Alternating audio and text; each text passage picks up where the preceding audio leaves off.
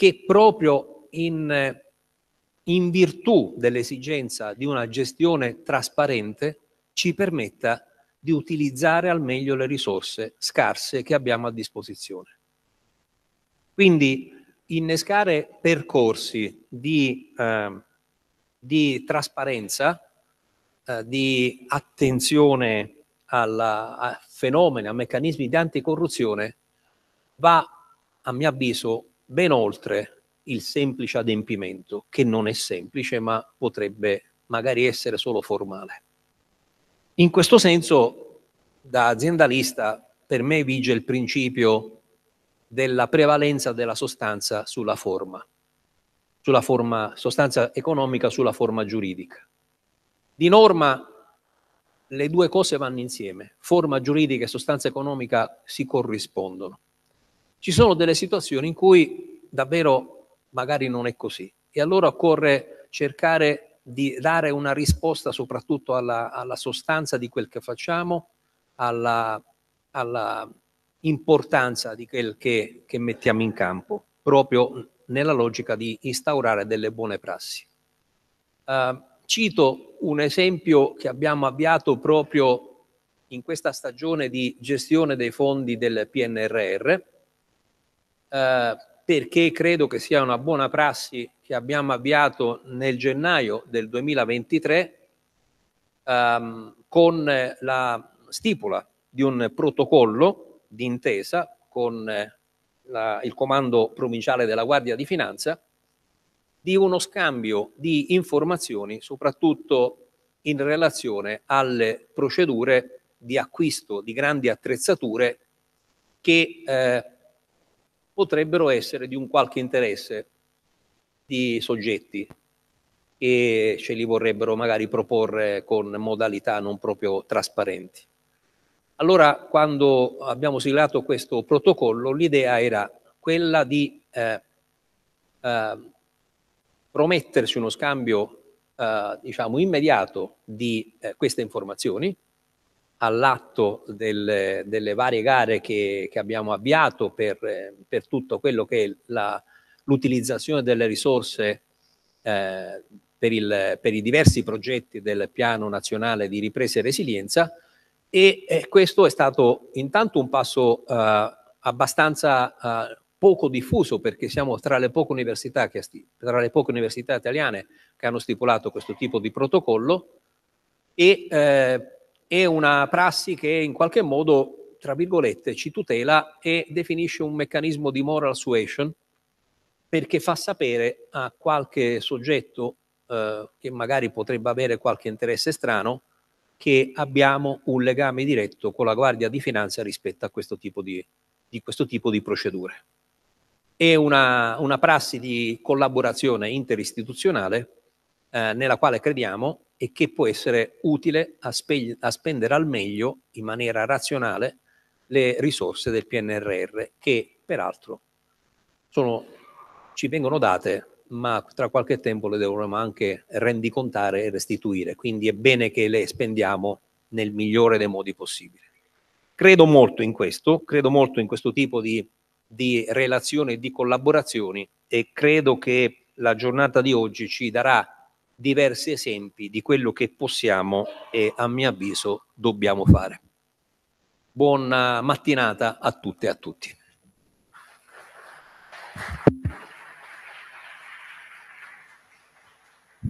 Grazie Rettore, buongiorno a tutte e a tutti. Eh, credo che l'introduzione che ha, che ha fatto il Rettore sulla, sul significato della giornata della trasparenza sia onnicomprensiva dei temi che generalmente le, le giornate della trasparenza nelle pubbliche amministrazioni eh, toccano. Eh, in questa stagione di fondi eh, PNRR probabilmente ancora di più, eh, come università, l'intero sistema universitario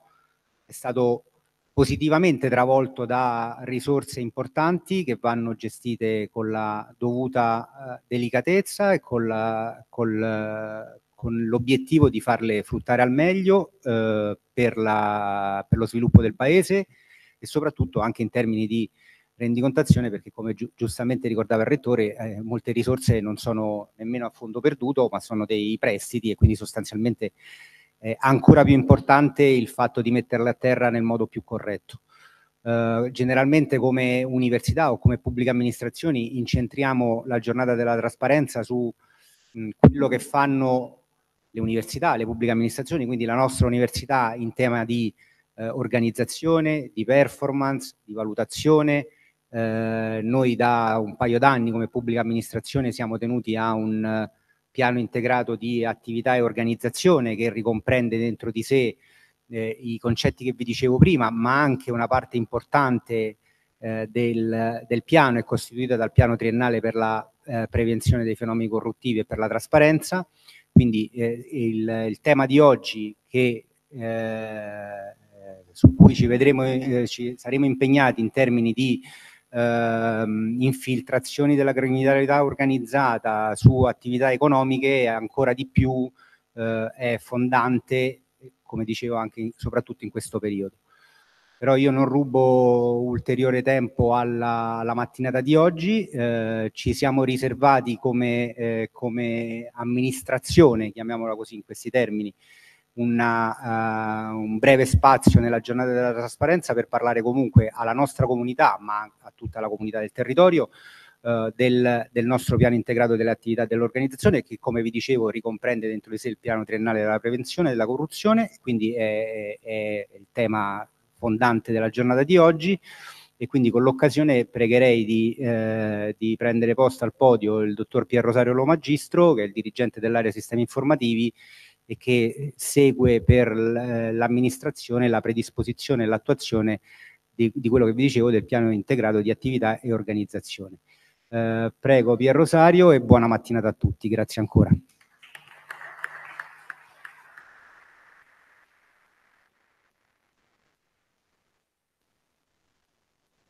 Eh, buongiorno, un attimo solo predispongo la presentazione.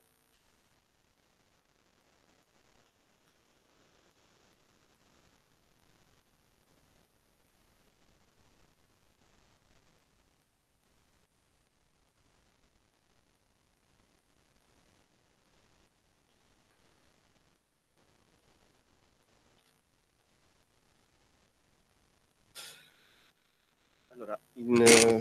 cercherò di essere breve perché i tempi sono contingentati e darò, delineerò quello che è stato il piano per uh, l'amministrazione, per la nostra amministrazione e eh, il, uh, cercherò di sottolineare quelli che sono stati alc alcuni aspetti innovativi eh, del, del piano, l'ultimo approvato che era il 2023-2025 Faremo, cercherò di fare un focus su in particolare alcuni obiettivi di semplificazione e digitalizzazione che abbiamo inserito nel piano e difficilmente ce la faremo con i tempi, però vorrei, se ce la facciamo, dare un accenno all'ultima direttiva ministeriale in tema di misurazione e valutazione della performance che è stata eh, emanata dal, dal, Ministro della Pubblica Amministrazione il 28 di novembre, quindi eh, meno di due settimane fa, in cui vengono fornite delle linee guida che vanno ad aggiungersi a quelle precedentemente emanate in tema di misurazione e valutazione della performance per indirizzare eh, le amministrazioni soggette alla, eh, appunto alla valutazione della performance e alla predisposizione del PIAO ad alcuni, eh, verso alcuni ehm, aspetti in particolare riguardanti la valutazione individuale. Eh, brevemente cos'è il PIAO? Il PIAO è stato introdotto nel, mh, dal decreto legge 80 del 2021 ed è un documento che, eh, piano integrato di attività e organizzazione, ha l'ambizione di riunire in un unico documento programmatico una serie di piani che le pubbliche amministrazioni erano eh, tenute comunque a eh, predisporre, in particolare il piano della performance, il piano eh, operativo del lavoro agile il piano triennale del fabbisogno del personale, il piano anticorruzione, il uh, salto i riferimenti eh, normativi, la struttura del piano, come definita dalla normativa di riferimento, prevede diverse sezioni, una scheda anagrafica con i dati dell'amministrazione, una sezione dedicata al valore pubblico e alla performance, cercherò di dare una definizione eh, per inquadrare un po' meglio il tema di cos'è il valore pubblico, una sezione eh, dedicata all'organizzazione del capitale umano in cui viene presentato il modello organizzativo dell'ente e le iniziative tese alla valorizzazione del capitale umano finalizzate alla produzione di valore pubblico. E poi una sezione di monitoraggio. Il, ehm, nel PIAO, tra le altre cose, devono essere incluse l'elenco delle procedure da semplificare e da reingegnerizzare ogni anno, su cui ci sarà, farò un po' un focus eh, più approfondito eh, nella parte finale della presentazione.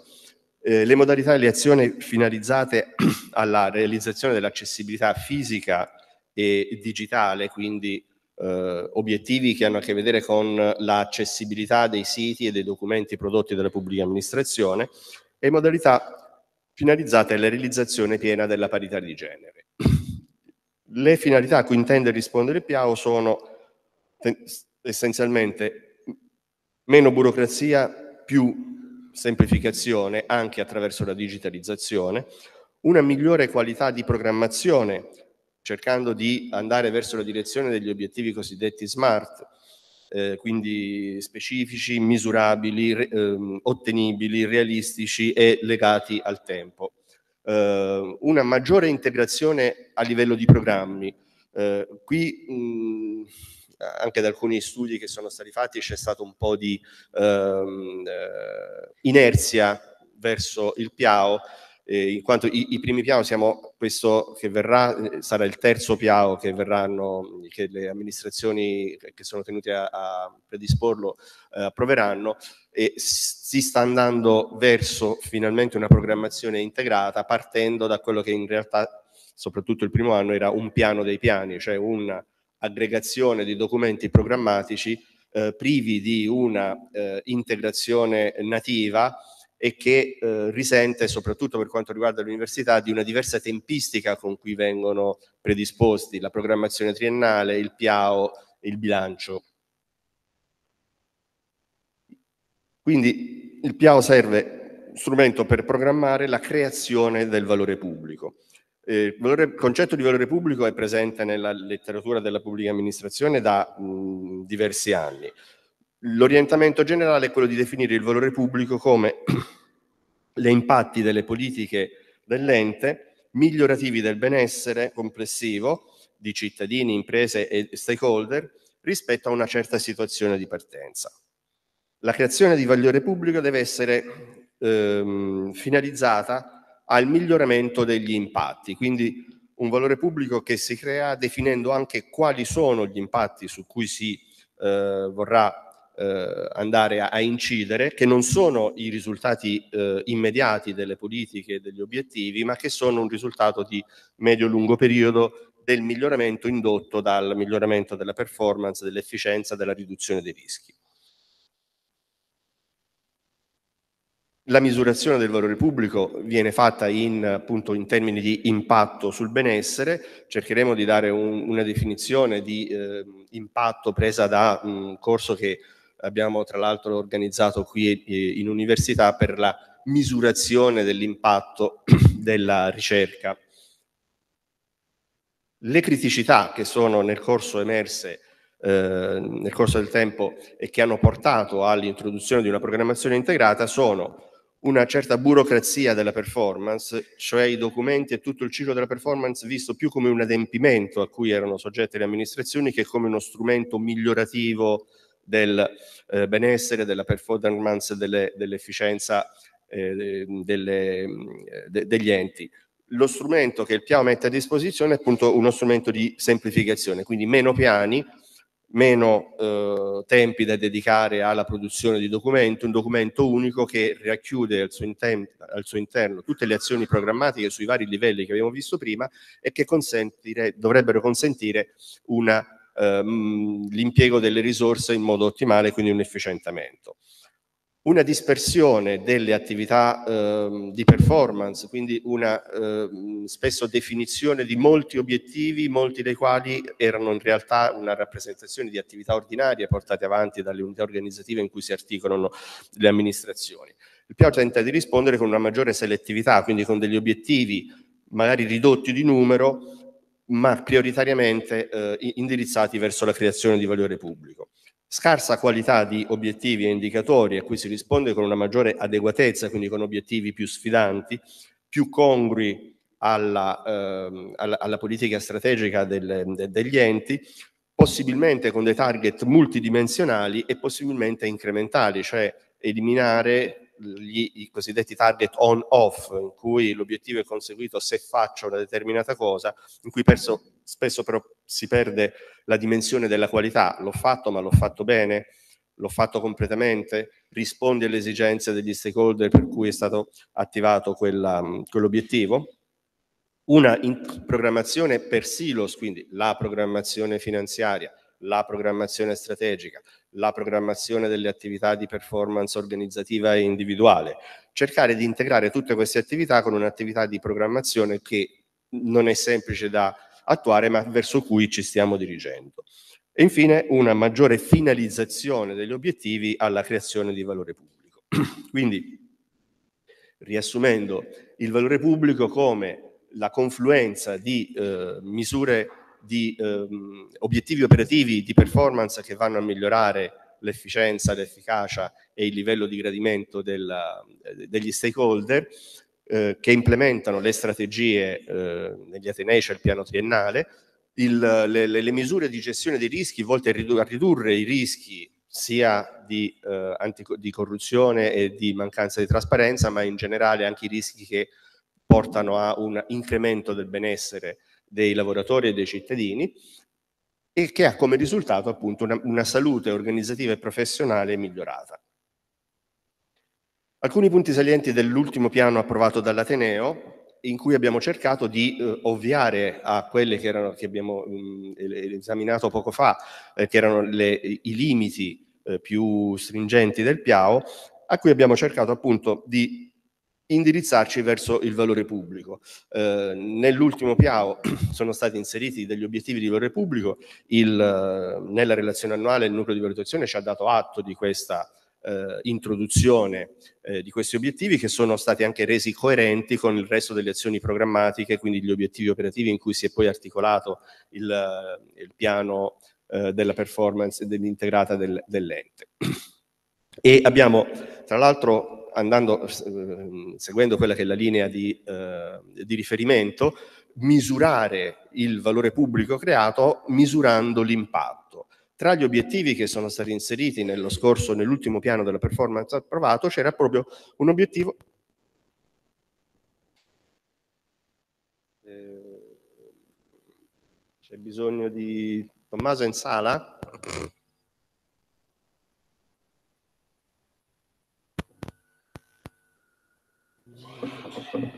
C'è bisogno della centralina.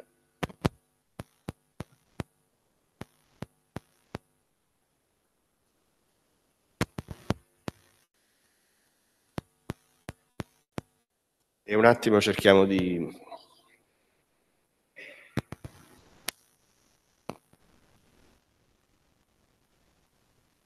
Ok,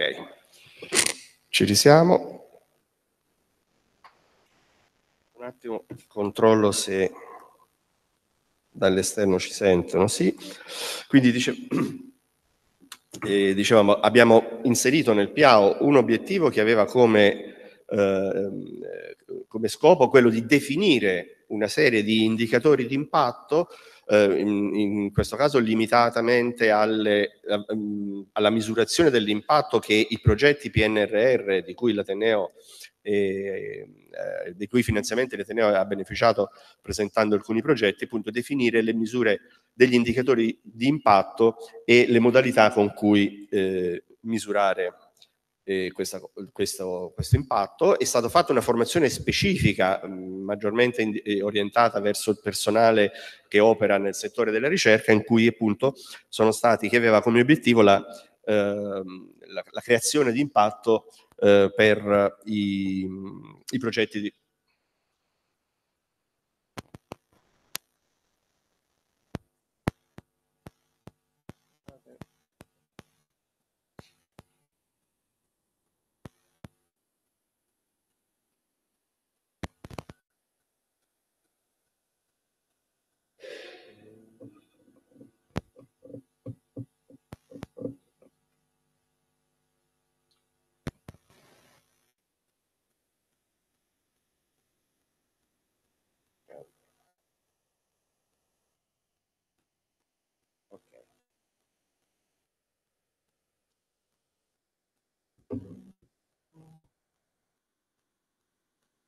Chiedo scusa per la nuova interruzione.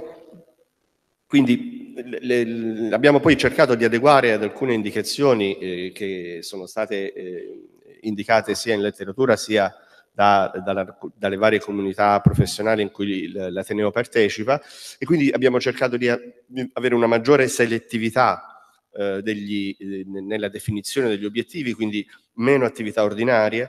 un, obiettivi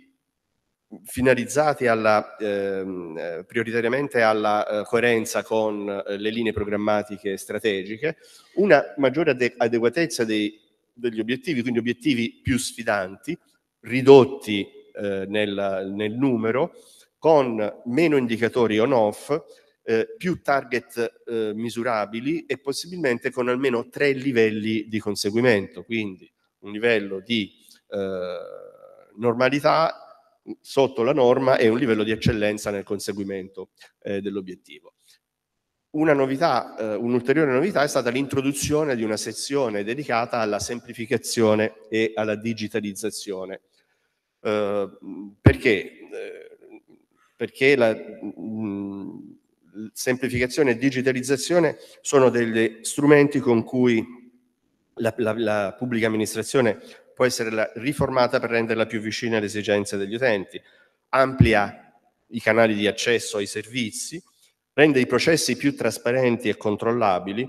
riduce di conseguenza l'aumento di trasparenza e la controllabilità dei processi, riduce i rischi di corruzione, permette l'automazione di compiti ripetitivi che spesso assorbono inutilmente risorse che possono essere destinate a eh, servizi non standard o comunque a maggior valore aggiunto. Eh,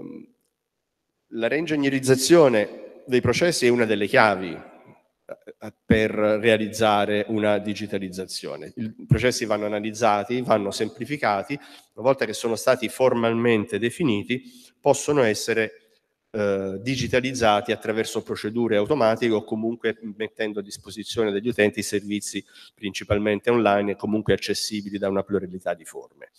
Eh,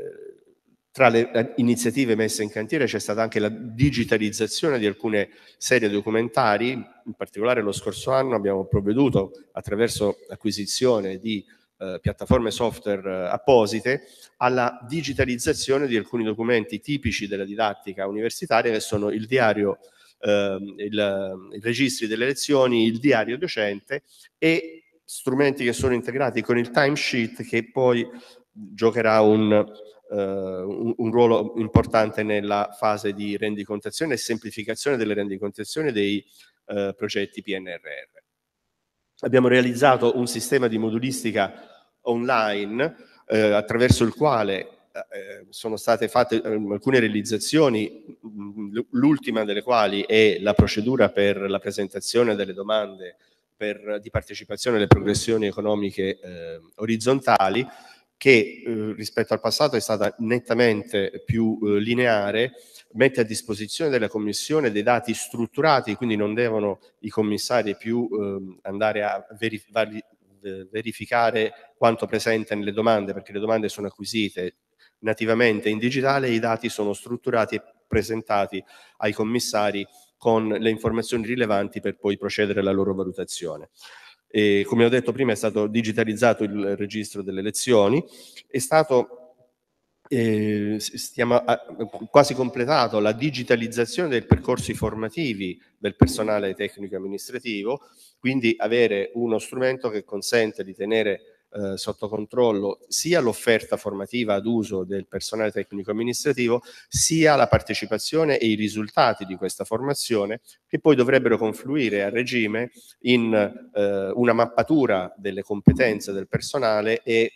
una eh, mappatura anche dei gap, quindi dei deficit di competenze da, da colmare attraverso la formazione. Eh, abbiamo avviato una sperimentazione della gestione interamente digitale degli ordini e dei contratti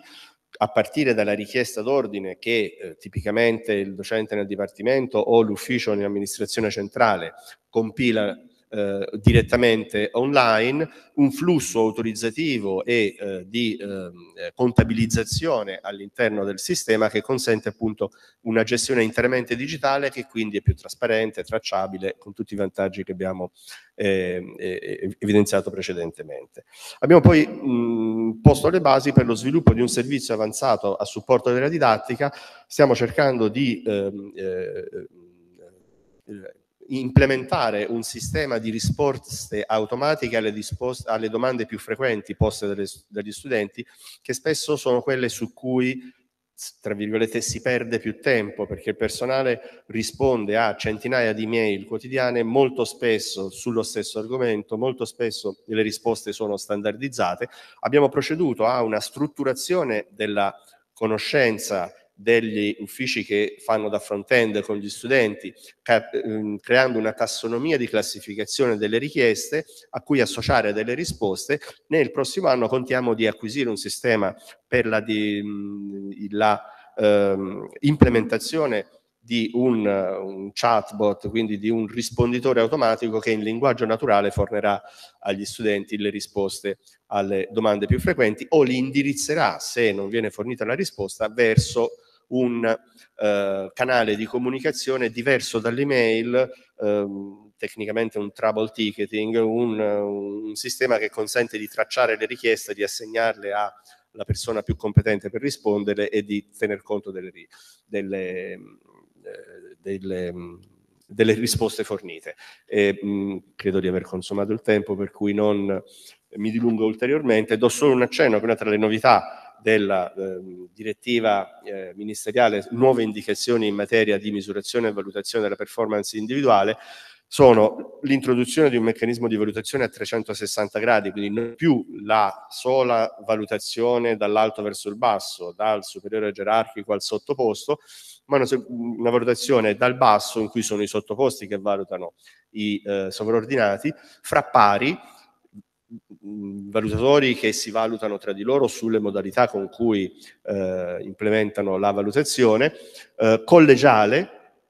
in cui è un collegio che, eh, di, di, di, valutatori che valuta il, le, le performance individuali e dall'esterno per soprattutto per le strutture che hanno rapporti con il pubblico e principalmente con il pubblico, una valutazione fatta direttamente dagli utenti eh, del. E ora credo di dover cedere la parola. E... Grazie, grazie Pier Rosario. Forse eh, se... grazie mille, come avete visto insomma dalla eh, breve, seppur breve descrizione, il piano integrato di attività organizzazione è è uno strumento fondamentale sia di innovazione, ma con l'innovazione si, si adempie anche a quegli obblighi di trasparenza e di prevenzione della corruzione, perché ovviamente più le cose sono tracciate, più le cose sono strutturate, più le cose sono eh, procedimentalizzate e minore il rischio ovviamente corruttivo anche all'interno. Non immaginiamo in una, in una, struttura complessa come l'università, non immaginiamo il rischio corruttivo sol, soltanto per appalti o per procedure di lavoro si può manifestare in diversissime forme nei concorsi, ovviamente, nelle, nelle, eh, nelle premialità, nell'attribuzione di borse di studio, di incentivi economici agli studenti. Quindi è un, per, per, noi, anche sulla base di quello che mh, mm, ci segnala ANAC, i rischi corruttivi vanno visti un po' a 360 gradi perché le attività sono molto, molte e molto diversificate fra di loro. Entriamo nella seconda parte, diciamo, introduciamo la seconda parte della, della mattinata dove parleremo un po' di più del, eh, dei rischi corruttivi alti, quelli della, della, criminalità organizzata e quindi sulla base anche del, del, uh, dell'accordo che già citava il Rettore che ci lega uh, a doppio filo con, il, con il, la Guardia di Finanza di Siena chiamerei eh, sul podio il colonnello Pietro Sorbello, che è appunto, per l'appunto il, com il, comandante provinciale della Guardia di Finanza di Siena. Grazie mille, colonnello.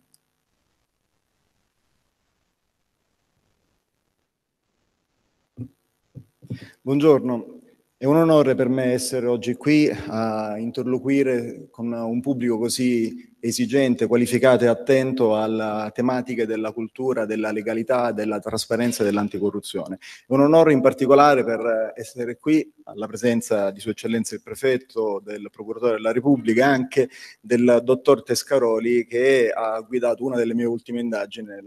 precedente incarico di servizio. Per questa prestigiosa occasione sono riconoscente al magnifico Rettore. Il tema che mi è stato affidato riguarda le ragioni dell'osservanza della legge. Le ragioni dell'osservanza della legge che è essenziale per l'ordinamento giuridico, perché ipotizziamo che l'inosservanza o l'assenza delle regole producono lo stesso effetto e già nella sua opera, nella Per la pace perpetua, Kant evidenziò come anche una società di diavoli avesse bisogno di regole, proprio per far capire quanto sia importante l'esistenza di regole Parlare di osservanza della legge, troviamo questa espressione in più testi, quando eh, una clausola finale alla fine dell'atto con cui la legge è promulgata, senza l'articolo 73 della Costituzione, vi è il richiamo, spetta a chiunque osservarla e farla osservare. L'ordinamento giudiziario prevede che il pubblico ministero velli sull'osservanza della legge in maniera più diffusa. L'articolo 13 della legge 689 del 1981 fa riferimento agli addetti al controllo all'osservanza del della eh, disposizione le della legge per la cui violazione è prevista una sanzione amministrativa. Ora, all'inizio degli studi universitari si fa riferimento alla legge collocata in alto nella gerarchia delle fonti del diritto e al diritto stesso come tecnica di regolazione delle relazioni sociali, quindi una definizione rilevante sul piano so sociologico. Relazioni sociali all'interno di una società che è portatrice di valori e interessi che trovano la loro massima espressione nella Costituzione. Vi cito alcuni riferimenti. L'interesse fiscale, ciascuno è chiamato a concorrere alla spesa pubblica in ragione della propria capacità contributiva e questo è adempimento dei doveri di solidarietà economica, ma anche per rimanere nelle tematiche odierne il buon andamento della pubblica amministrazione garantito dall'articolo 97 è la base concettuale rispetto agli istituti che riguardano l'anticorruzione eh, e la trasparenza stessa. Ora, gli interessi sono tutelati da regole ed è, eh, la regola è assistita da sanzioni e questo garantisce l'effettività perché esistono anche regole che non hanno natura giuridica ma morale, sociale, tuttavia la relativa violazione non, da, non è assistita da sanzioni, quindi il comportamento in questo caso non è coercibile. La sanzione giuridica tuttavia deve essere pronta e certa. Vedremo che queste caratteristiche sono già state affermate da Beccaria nei De delitti e delle pene. Ora, la sanzione garantisce per certi aspetti quell'agire conforme alle regole che è la condizione auspicata dal legislatore, in particolare il legislatore penale. Perché dico in particolare? Perché il legislatore penale usa lo strumento della pena e della pena incide non solo sul patrimonio, ma anche sulla libertà personale e quindi deve essere utilizzata come estrema razio perché? Perché la pena è un'arma a doppio taglio, tutela beni giuridici attraverso la lesione di beni giuridici. Ora, quando si parla di regolazione dei eh, comportamenti sociali, si parla di politica sociale. La politica sociale, ivi compresa la promozione dei valori, all'interno contiene la politica criminale, che è l'insieme delle misure adottate dal legislatore, non necessariamente di natura penale, volte volta, volte a prevenire la commissione di reati e in questa nozione rientrano anche la prevenzione antiriciclaggio, anticorruzione, per quanto riguarda l'oggetto della presente giornata anche le misure eh, relative all'antimafia. Ora, l'osservanza delle regole segue almeno due ragioni.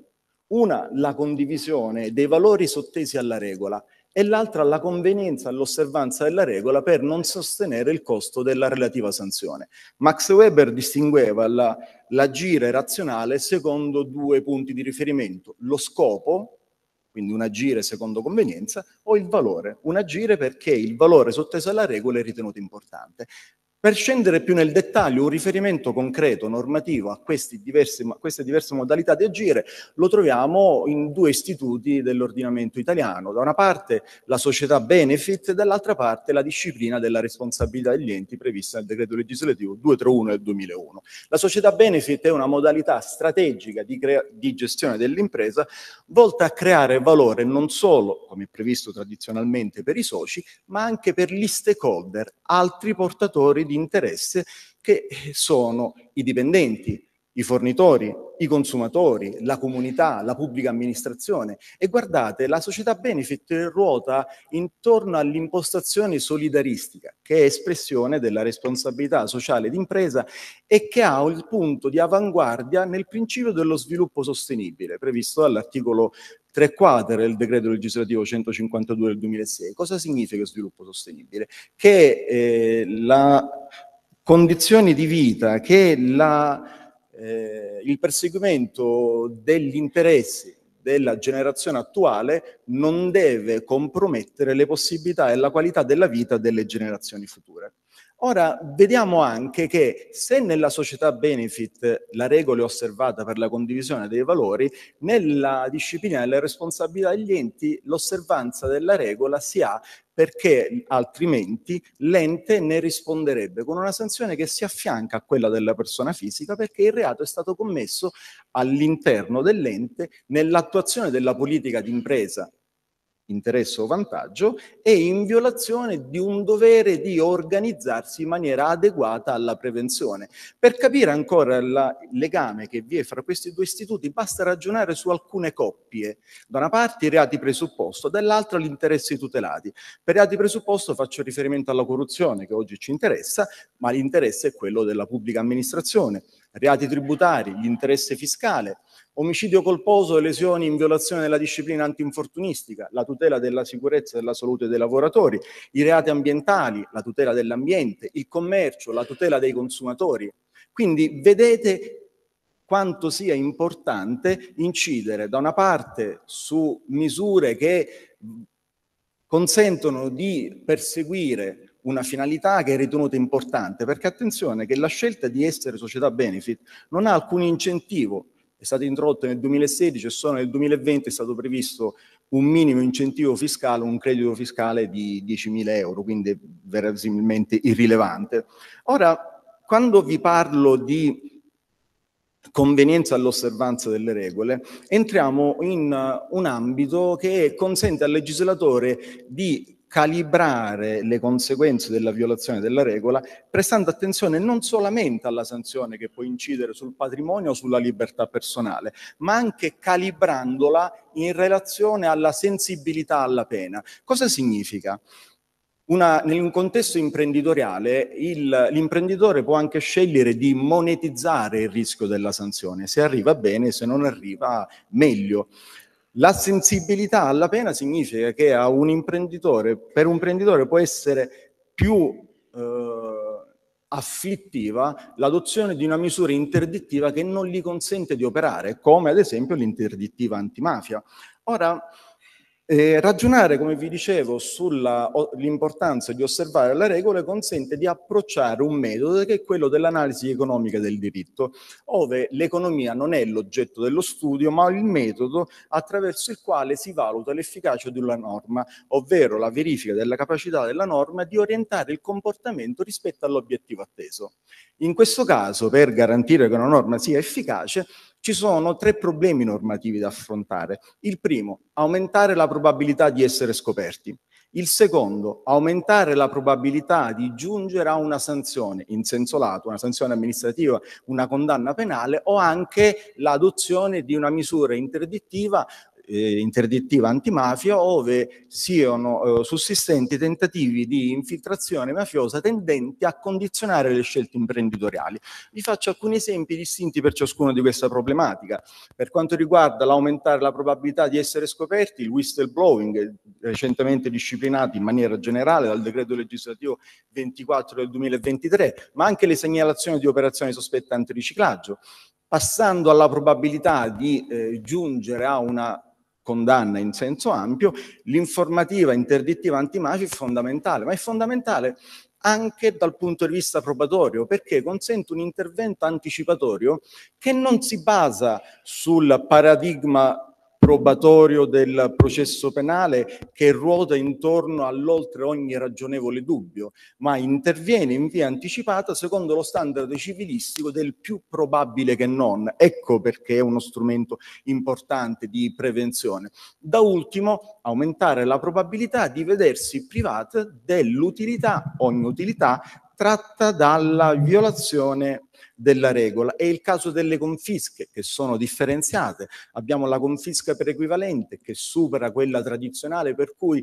vi è un'agevolazione probatoria, non si deve dimostrare la diretta pertinenzialità del bene da aggredire con il reato a monte, ma ancora più semplice come agevolazione probatoria la confisca allargata per sproporzione e infine le confische di la confisca di prevenzione che va oltre la presenza di un reato. Vi dico però che oltre agli interventi di politica legislativa vi sono anche altri istituti la cui fisionomia è mutata grazie all'interpretazione giurisprudenziale. Faccio riferimento a una importantissima sentenza delle sezioni unite, la sentenza Gubert del 2014, che prevedeva, che ha stabilito che la confisca del denaro è sempre considerata confisca diretta, quindi non c'è la necessità di provare questo collegamento, ma più di recente vi, sono state vi è stata un'altra ipotesi che aumenta l'esigenza di essere compliant. Ed è il discorso del sequestro dei crediti fiscali connessi al super bonus eseguiti anche presso le banche. L'articolo 240 del codice penale esclude la possibilità di confiscare un bene se, eh, nei confronti della persona estranea al reato. Ma cosa si intende per persona estranea al reato? La persona estranea al reato non è solo chi non ha commesso o concorso a commettere il reato, ma è anche chi non ne abbia tratto alcuna utilità. La Cassazione ha confermato, ha confermato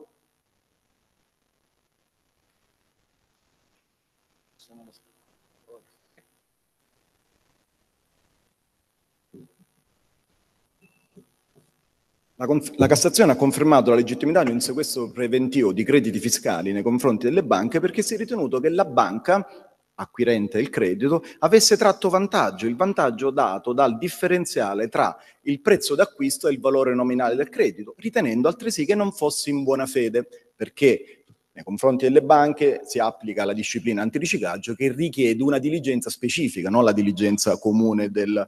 eh, buon padre di, di famiglia. Ora, ulteriori forme che incidono e che rendono l'idea che non solo il crimine non paga, ma costa anche in ambito anticorruzione sono degli istituti nuovi,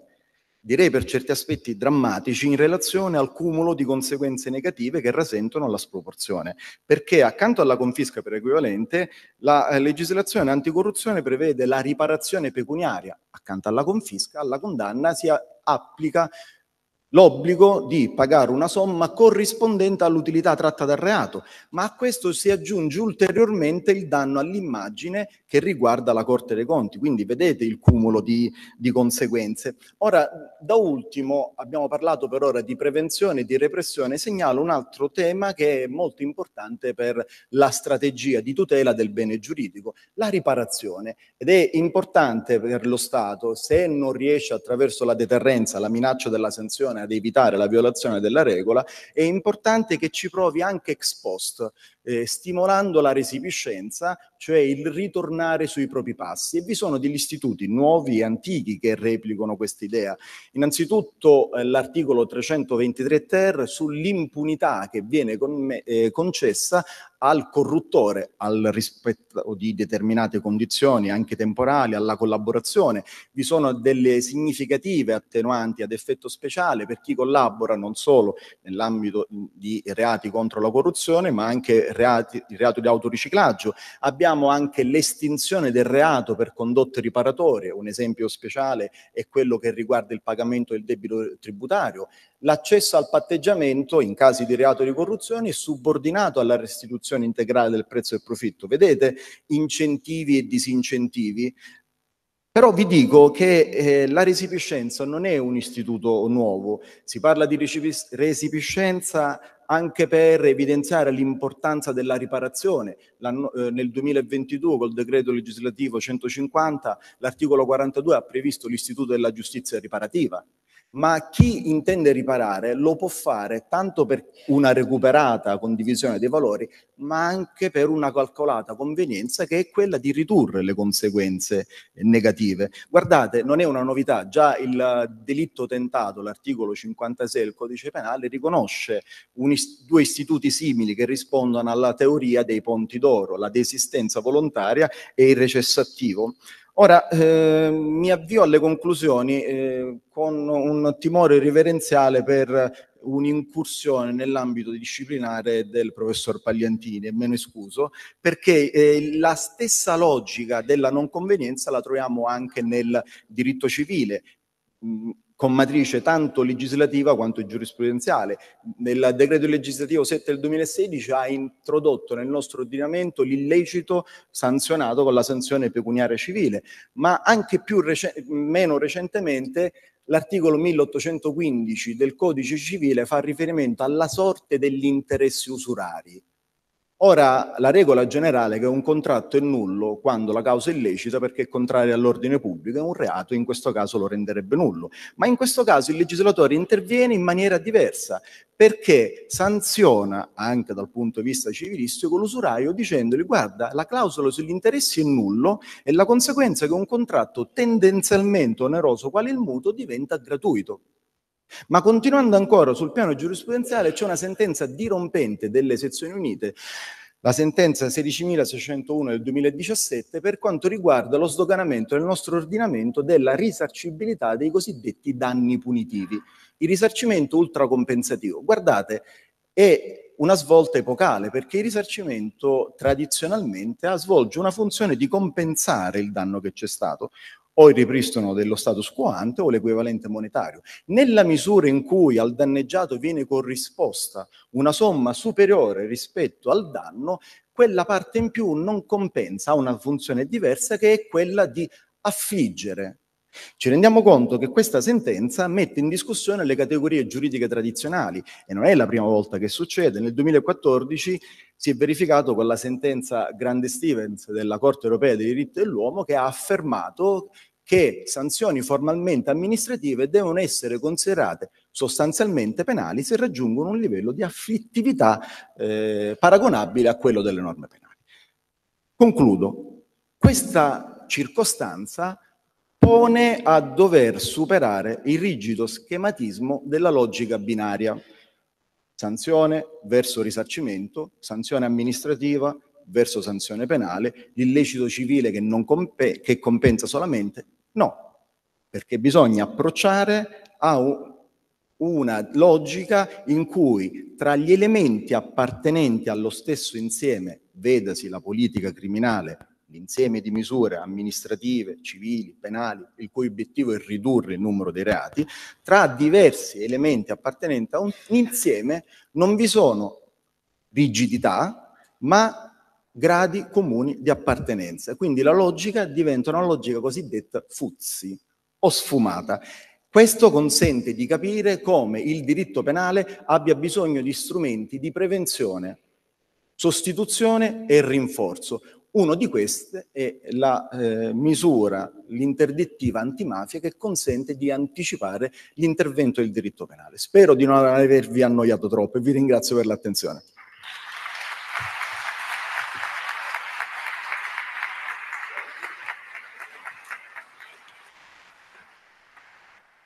Grazie mille colonnello per questa interessantissima relazione che dà un po' anche il via alla seconda parte della, della mattinata perché il colonnello ha ricordato anche le cosiddette sanzioni interdittive che saranno poi il focus de, della tavola rotonda eh, che ci vedrà impegnati nella, nel, nella prossima ora più o meno. Eh, quindi chiamerei al tavolo eh, il professor Stefano Pagliantini, direttore del Dipartimento di Giurisprudenza,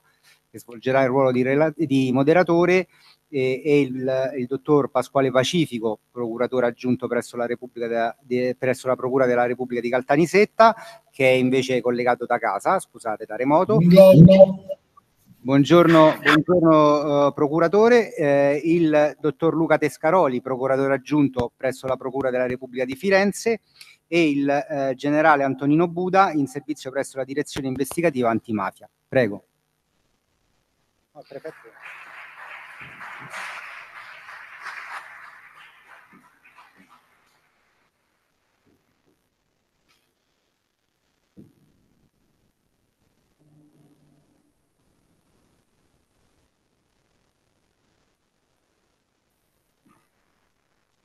Intanto eh, porto i i saluti del Dipartimento di Giurisprudenza che ho eh, l'onore e l'onere di eh, dirigere, eh, ringraziando per il coinvolgimento in questa importante eh, in questa occasione di riflessione con eh, relatori così eh, qualificati. Eh, la mia eh, sarà una eh, testimonianza molto, molto rapida, posto che eh, nelle eh, diciamo, relazioni che ci hanno preceduto, segnatamente ne, nell'ultima del comandante provinciale della Guardia di Finanza, è emerso come il fenomeno attuale veda dell'evoluzione giuridica una mh, contaminazione tra un diritto eh, civile che, eh, per così dire, assume mh, tratti eh, di sanzione ed un diritto, eh, un diritto penale che si verrebbe, verrebbe a mostrare delle eh, venature eh, civilistiche. Mm, io mi limito a dire questo, eh, trasparenza è una formula di grande interesse, ma eh, rischia di diventare una formula magica se non la si declina in modo tale eh, da eh, garantirne l'effettività. Per il civilista trasparenza eh, significa eh, chiarezza informativa e completezza dell'obbligo di informazione perché è finalizzata a mh, garantire una consapevolezza della scelta contrattuale e quindi ad assicurare una concorrenzialità del mercato. Eh, questo nell'ottica di un mercato come istituzione sociale che garantisce il benessere eh, collettivo. Nella versione odierna eh, la trasparenza eh, lascia intravedere l'altro suo volto della eh, lotta eh, alla corruzione e da tutto ciò che mh, finisce per alterare eh, una eh, legalità eh, dell'agire eh, della pubblica amministrazione e delle eh, imprese. Eh, in comune in realtà le due nozioni hanno la circostanza segnalata prima dal magnifico rettore che tanto una trasparenza civilistica quanto una trasparenza che attiene al mondo eh, del eh, diritto penale eh, necessitano di tecniche di tutela adeguate a renderle effettive, onde evitare appunto che diventino semplicemente delle formule eh, magiche. Eh, oggi si discute, e mh, mm, chiamerò adesso Sua Eccellenza il prefetto all'introduzione eh, si discute di questo decreto che appunto eh, prevede queste forme mh, di eh, tutela eh, interdittiva. A queste forme è associata una eh, incapacità mh, di tipo legale. Ecco, qui si aprirebbe tutto un altro discorso eh, molto importante per il civilista rispetto alla eh, testualità e tassatività delle forme di mh, incapacità. Ma chiedo a Sua Eccellenza il Ministro, eh, la dottoressa Matilde Pirrera, di prendere la parola.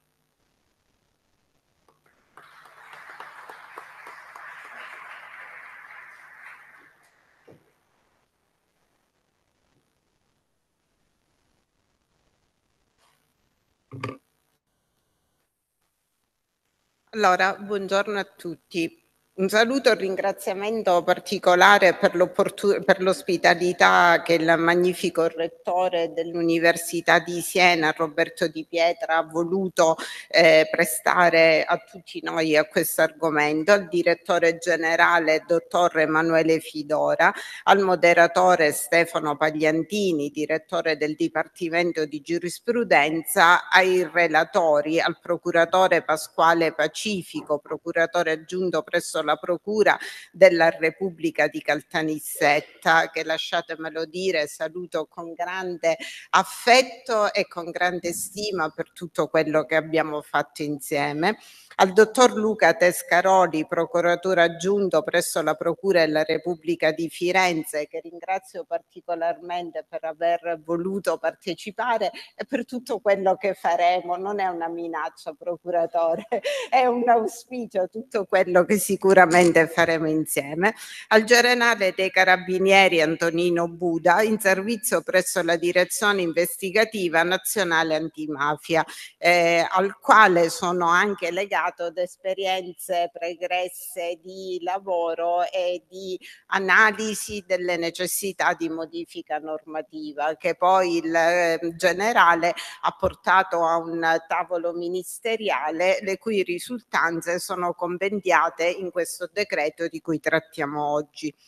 Infatti oggi è l'occasione per un focus sul recente decreto del Ministro dell'Interno del 2 ottobre 2023 che ha introdotto alcune mh, modifiche per il potenziamento delle azioni istruttorie dei gruppi interforze antimafia che per la prima volta assumono chiaramente questo termine di gruppo interforze antimafia che nascono nel 2003, quindi ben vent'anni fa, per il monitoraggio delle infrastrutture e degli insediamenti ehm, industriali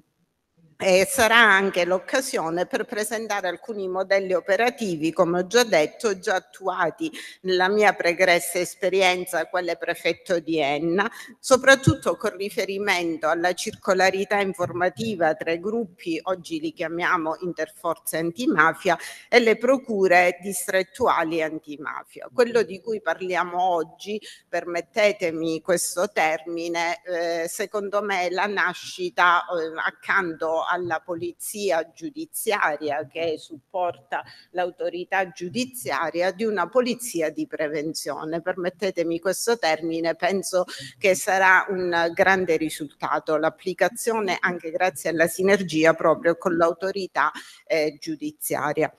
Va premesso in relazione all'attività preventiva antimafia delle prefetture che l'informativa antimafia, come già rappresentato nei precedenti interventi, con particolare riferimento a quello del colonnello della Guardia di Finanza, non è comunque una misura di carattere sanzionatorio, ma trattasi di uno strumento di interdizione di controllo sociale che ha il compito in via preventiva, appunto come ho detto, di contrastare le forme più subdole di aggressione all'ordine pubblico economico ma c'è di più, come diceva anche il professore Pagliantini, ehm, l'interdittiva antimafia agisce non solo nei rapporti con la pubblica amministrazione, perché nel caso di interdittive viene fatta una comunicazione della prefettura anche alla Camera di Commercio, quindi inerisce anche i rapporti tra privati, c'è una sorta, viene attestata, seppur temporanea, perché voi sapete comunque le interdittive positive vengono verificate ogni anno su istanza di parte, praticamente c'è una sorta di idoneità dello stesso ehm, imprenditore.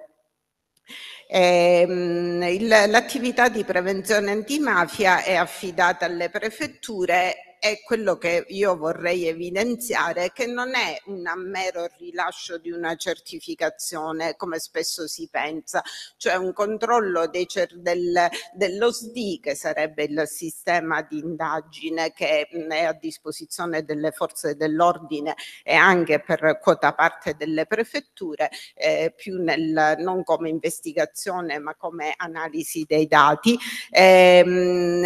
ma eh, è un, una un'analisi di tipo globale, presuppone la verifica della sussistenza sì di reati ostativi o indizianti, ma anche l'analisi del contesto economico e criminale di riferimento, dei reati spia, delle,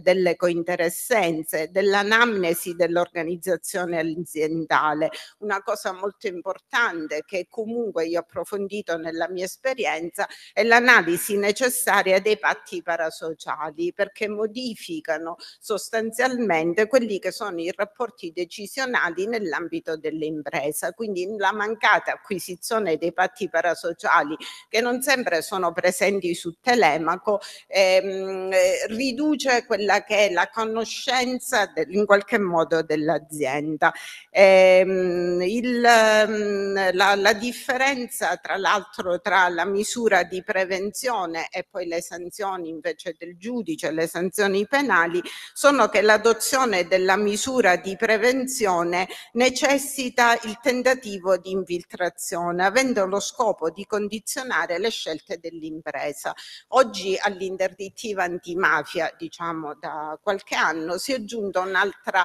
forma di attività che è quella praticamente della prevenzione collaborativa per evitare di estromettere dal mercato aziende che potenzialmente presentavano dei fenomeni di eh, collusione con la criminalità organizzata o di contiguità con la criminalità organizzata, è stato previsto questo strumento di prevenzione collaborativa mh, mm, che eh, è sovrapponibile in qualche modo a quello disposto dal giudice in base al 34 bis a seguito dell'interdittiva antimafia che anticipa comunque l'interdittiva antimafia ed è di competenza del prefetto. Proprio la settimana scorsa abbiamo firmato, ho, mm, eh, firmato in, in, prefettura questi eh, due decreti di collaborazione preventiva per due aziende della provincia di Siena eh, che presentavano dei collegamenti con la criminalità organizzata ma anche dei profili di emendabilità già acclarati peraltro presso altra sede del giudice penale in base al 34 bis.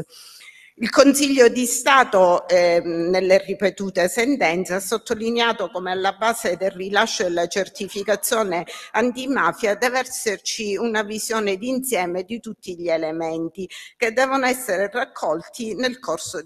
dell'istruttoria. E qui ci colleghiamo proprio alla nascita, praticamente alla genesi di questo decreto che eh, in qualche modo incrementando quelli che sono ehm, le mh, possibilità, le potenzialità dei gruppi ehm, del, presenti presso le prefetture eh, aumenteranno quelle che sono le potenzialità di conoscenza dei fenomeni criminali sul territorio gratuito sul territorio. Ehm, nella, mm,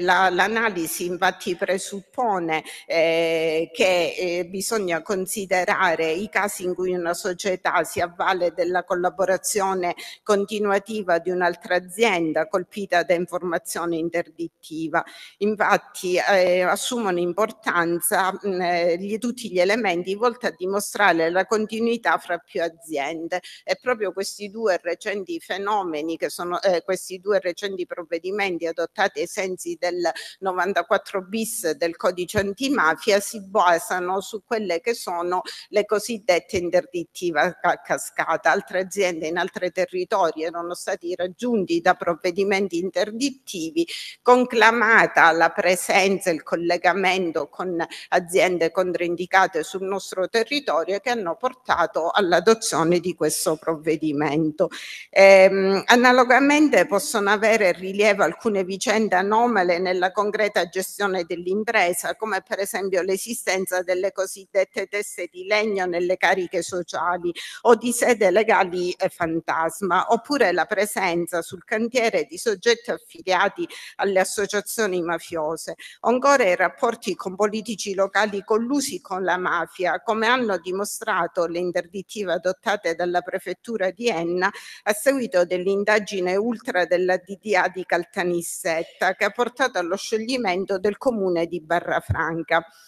Dall'accesso è emerso infatti che molte aziende cui erano state affidati dal comune degli incarichi in palese violazione delle norme sui contratti, oltre alle direttive dell'ANAC naturalmente sulla trasparenza e sulla rotazione, erano collegati alla criminalità organizzata di stampo mafioso che attraverso l'aggiudicazione di piccoli appalti, come si evince dalle intercettazioni telefoniche, in alcuni casi il figlio del boss parlava di incarichi di 1000, 2000, 7000 euro, ma non era l'importo quello che era importante, ma la voglia di presidiare l'ente, determinandone le sorti politiche e amministrative. Seguivano il boss con eh, i figli, seguivano anche le sedute dei consigli comunali per poi dare le direttive al sindaco su quelle che erano eh, le attività che dovevano essere poste in essere per il presidio totale.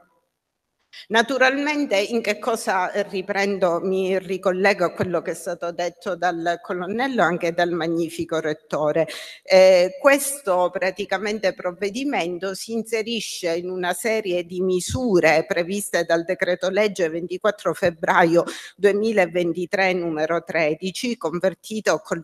modificazioni dalla legge 21 aprile 2023 numero 41 che ha rimesso un decreto ministeriale generale la previsione di misure di potenziamento dell'azione istruttoria dei gruppi istituiti presso le prefetture ai fini del tutela, della tutela dei fondi principalmente del PNRR, quindi di quei beni comuni di cui parlava il colonnello a cui tutti dobbiamo in particolare prestare attenzione.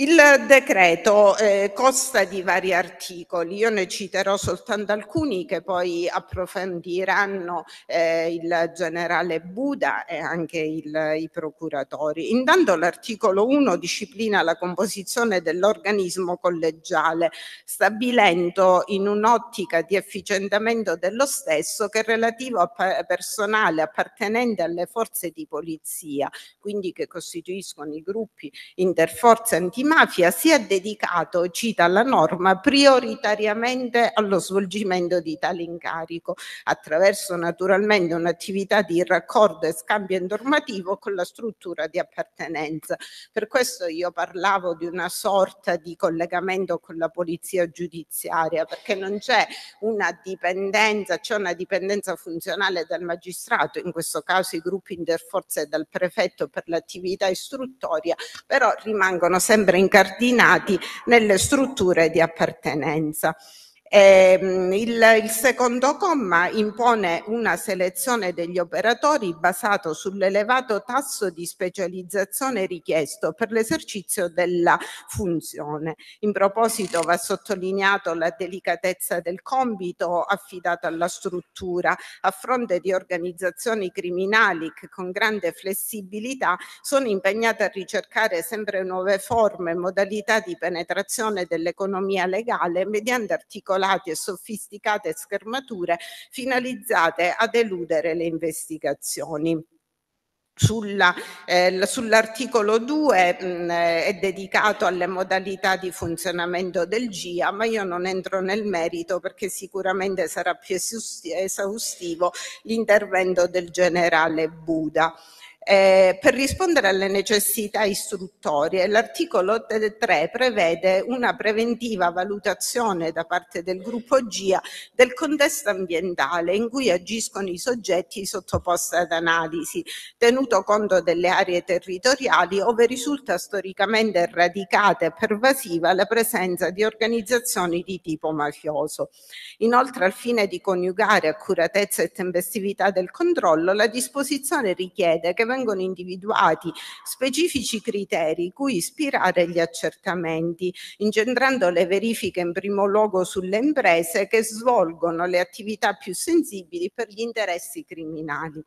L'accesso ai cantieri effettuata da ENNA in base a un protocollo di legalità ha evidenziato che parecchie aziende, e ora mi rifaccio alla politica eh, di self-cleaning di cui parlava il eh, colonnello, devo dire che tutte le aziende che abbiamo trovato nei cantieri e cui erano affidati i subappalti da parte dell'ANAS, quindi eh, diciamo di una grande azienda per la gestione delle autostrade, avevano tutte utilizzato lo strumento del self-clearing trasferendo a figli, parenti, eccetera, le aziende adottando la 231 e poi lavoravano nei cantieri con uh, il, i soggetti controindicati del caso. Eh, quindi l'accesso accesso ai cantieri effettuati ad ENNA in base a un protocollo di legalità ha evidenziato che parecchie aziende facenti parte di un consorzio di imprese regolarmente destinatario di certificazione antimafia liberatoria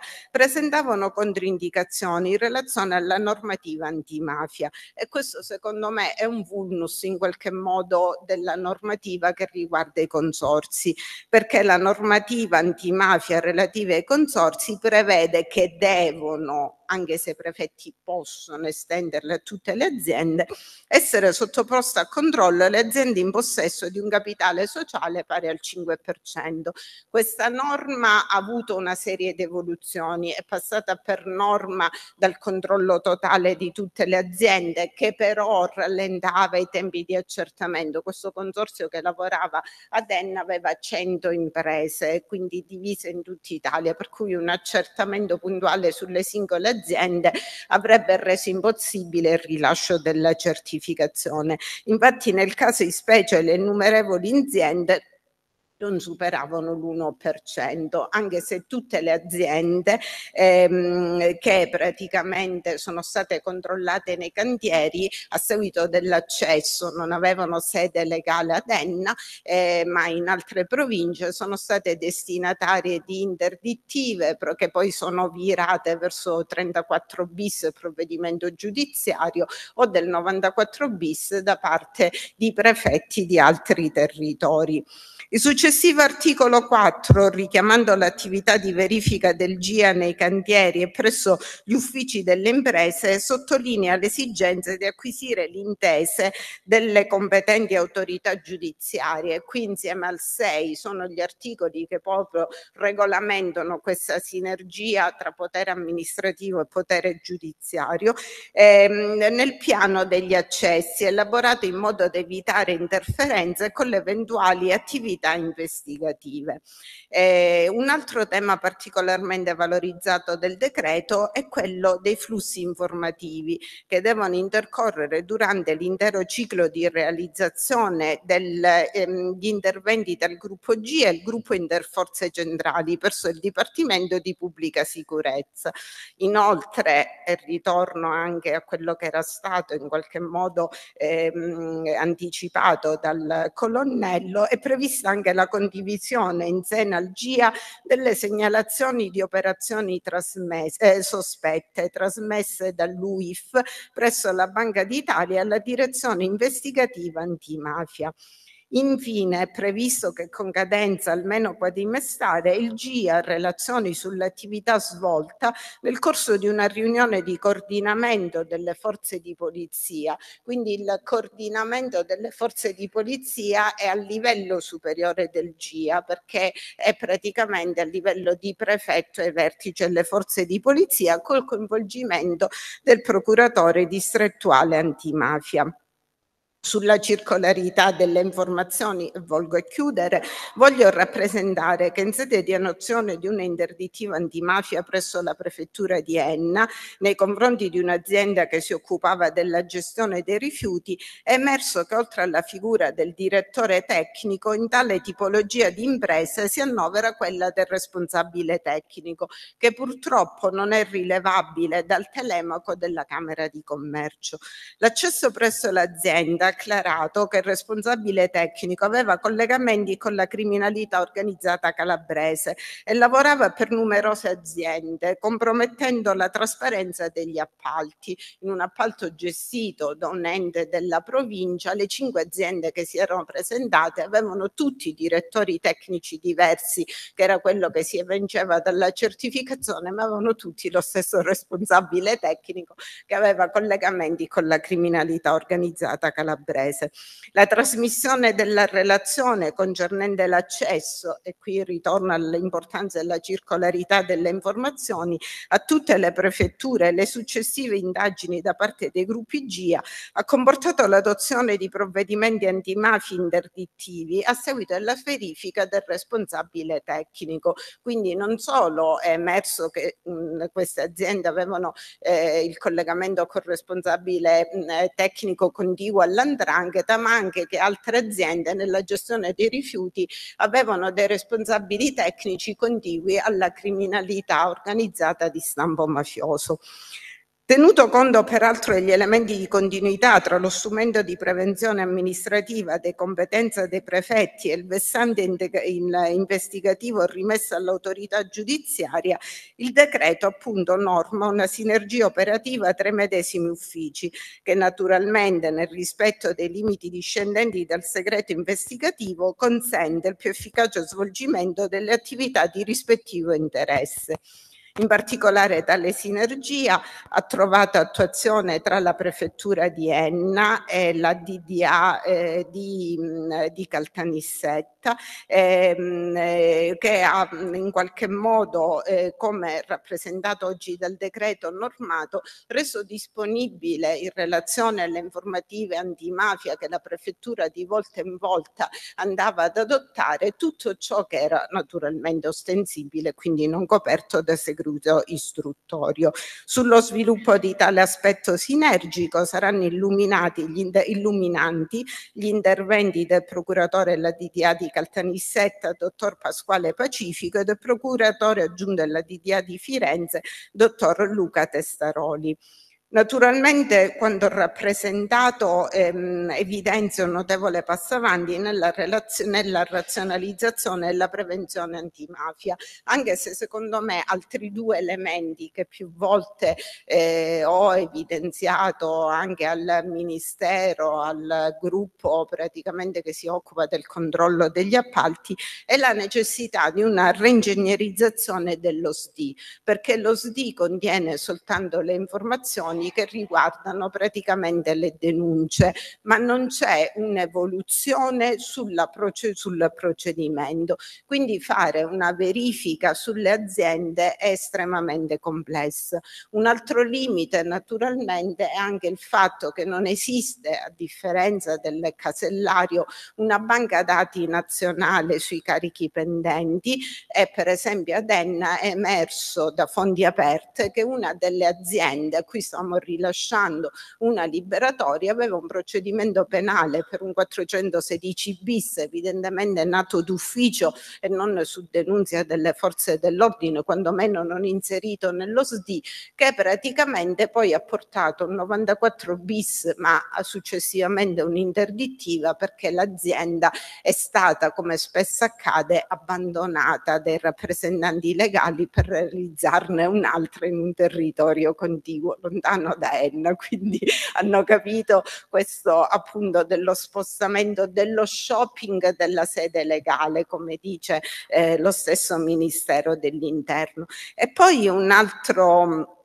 elemento che sarebbe di grande interesse è quello praticamente dell'utilizzo delle fonti aperte. Come voi sapete la polizia giudiziaria può accedere naturalmente a fonti aperte diverse da quelle che sono eh, su internet, eh, insomma da, da Google eccetera, anche se con il limite tra la riservatezza e la possibilità di utilizzare anche conversazioni di Facebook o di altri vari social. Sarebbe importante che anche la polizia di prevenzione, la, fatemi passare questo termine, possa accedere alle fonti aperte perché eh, come ricordava il generale, il nostro metodo di lavoro ad Enna intanto prima di rilasciare una certificazione antimafia è quella di un'analisi su internet perché su internet purtroppo chi è vittima di internet eh, purtroppo rimane tutto ma rimane tutto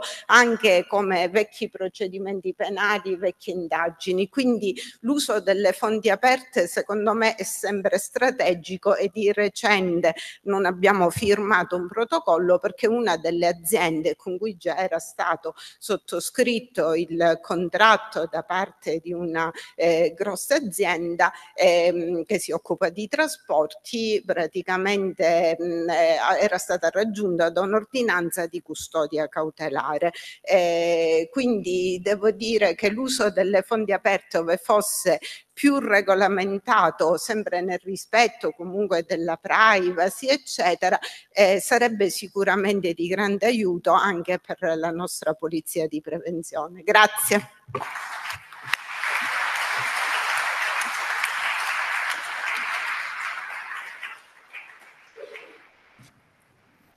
Ringraziamo eh, Sua Eccellenza il Prefetto per questa bella e stimolante relazione che ha evidenziato eh, come l'obiettivo eh, di quella che eh, tutti chiamano una trasparenza cristallo eh, sia poi eh, ostacolato dall'esistenza di una pluralità di convitati di pietra, a cominciare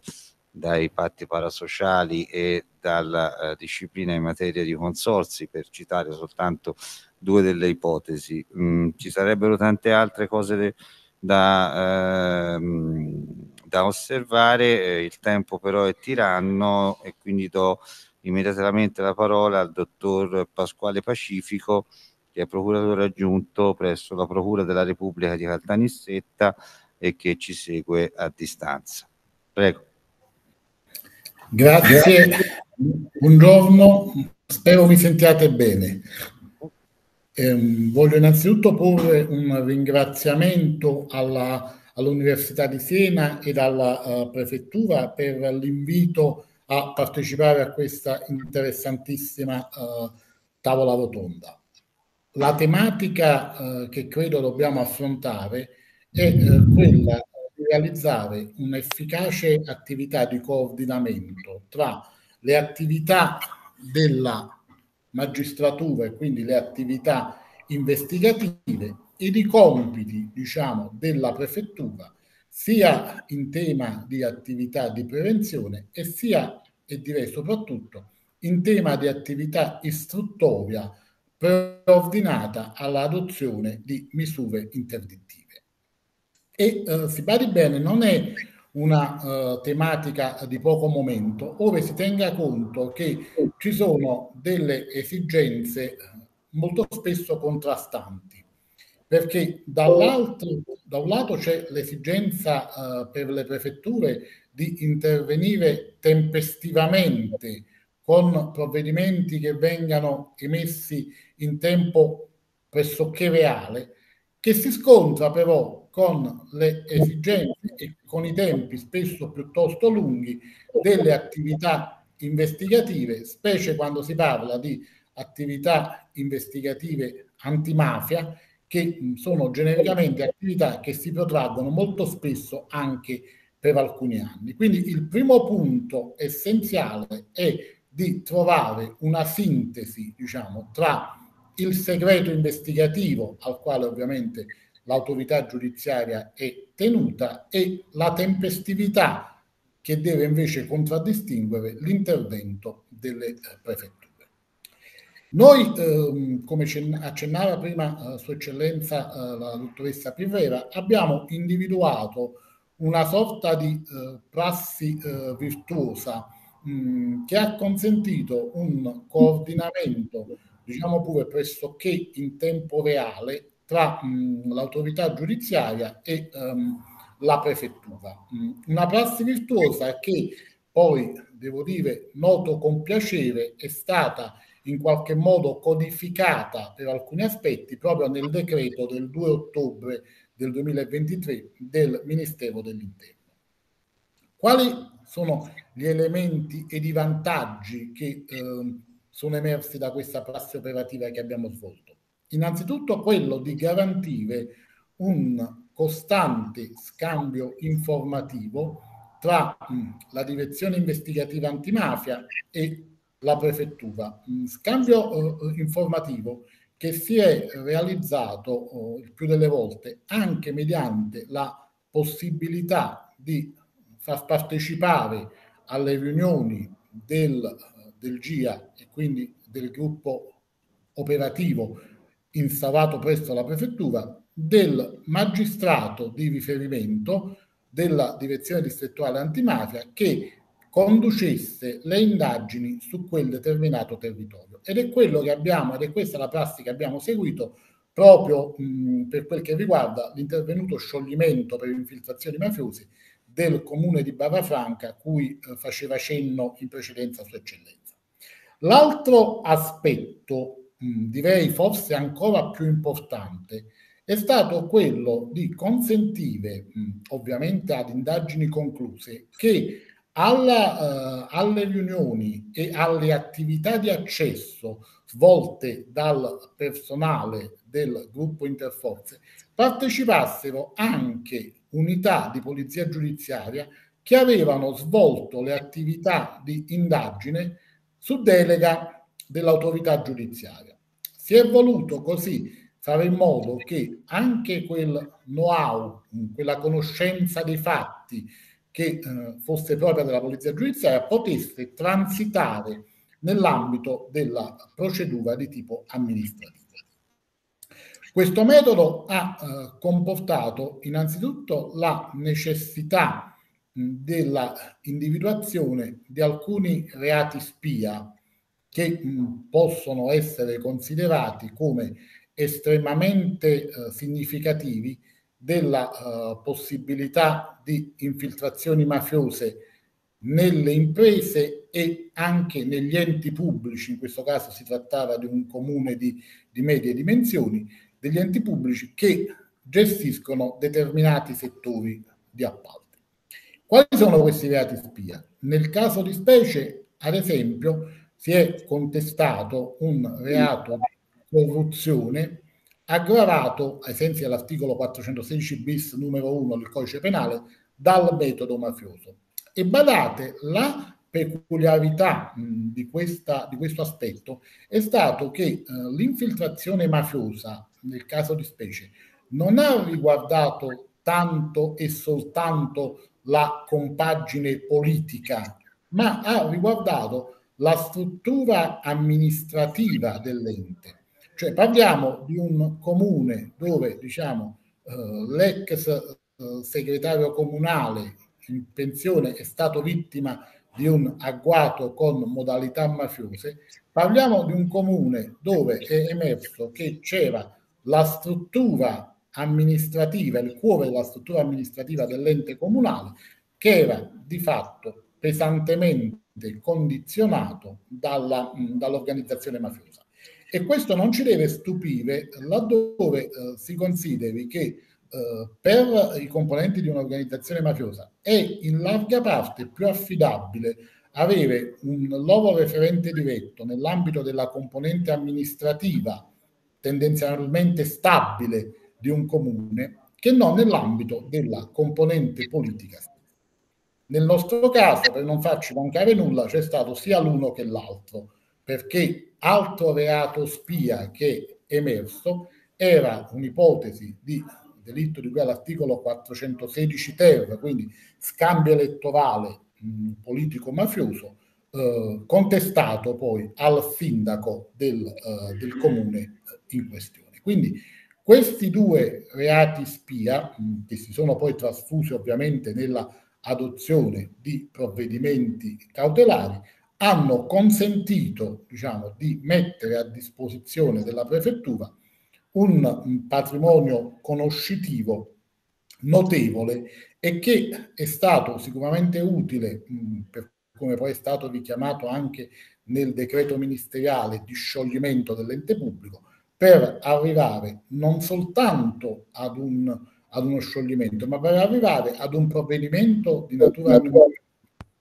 che poi resistesse anche nei successivi eh, gradi di giudizio amministrativo. Perché, badate bene, uno dei problemi che abbiamo molto spesso constatato è che eh, alcuni provvedimenti, alcune misure interdittive eh, emesse dalle prefetture, poi venissero, diciamo, cassate in sede di giudizio amministrativo proprio perché una parte di eh, elementi di conoscenza fondamentali eh, per poter suffragare e corroborare la eh, misura interdittiva,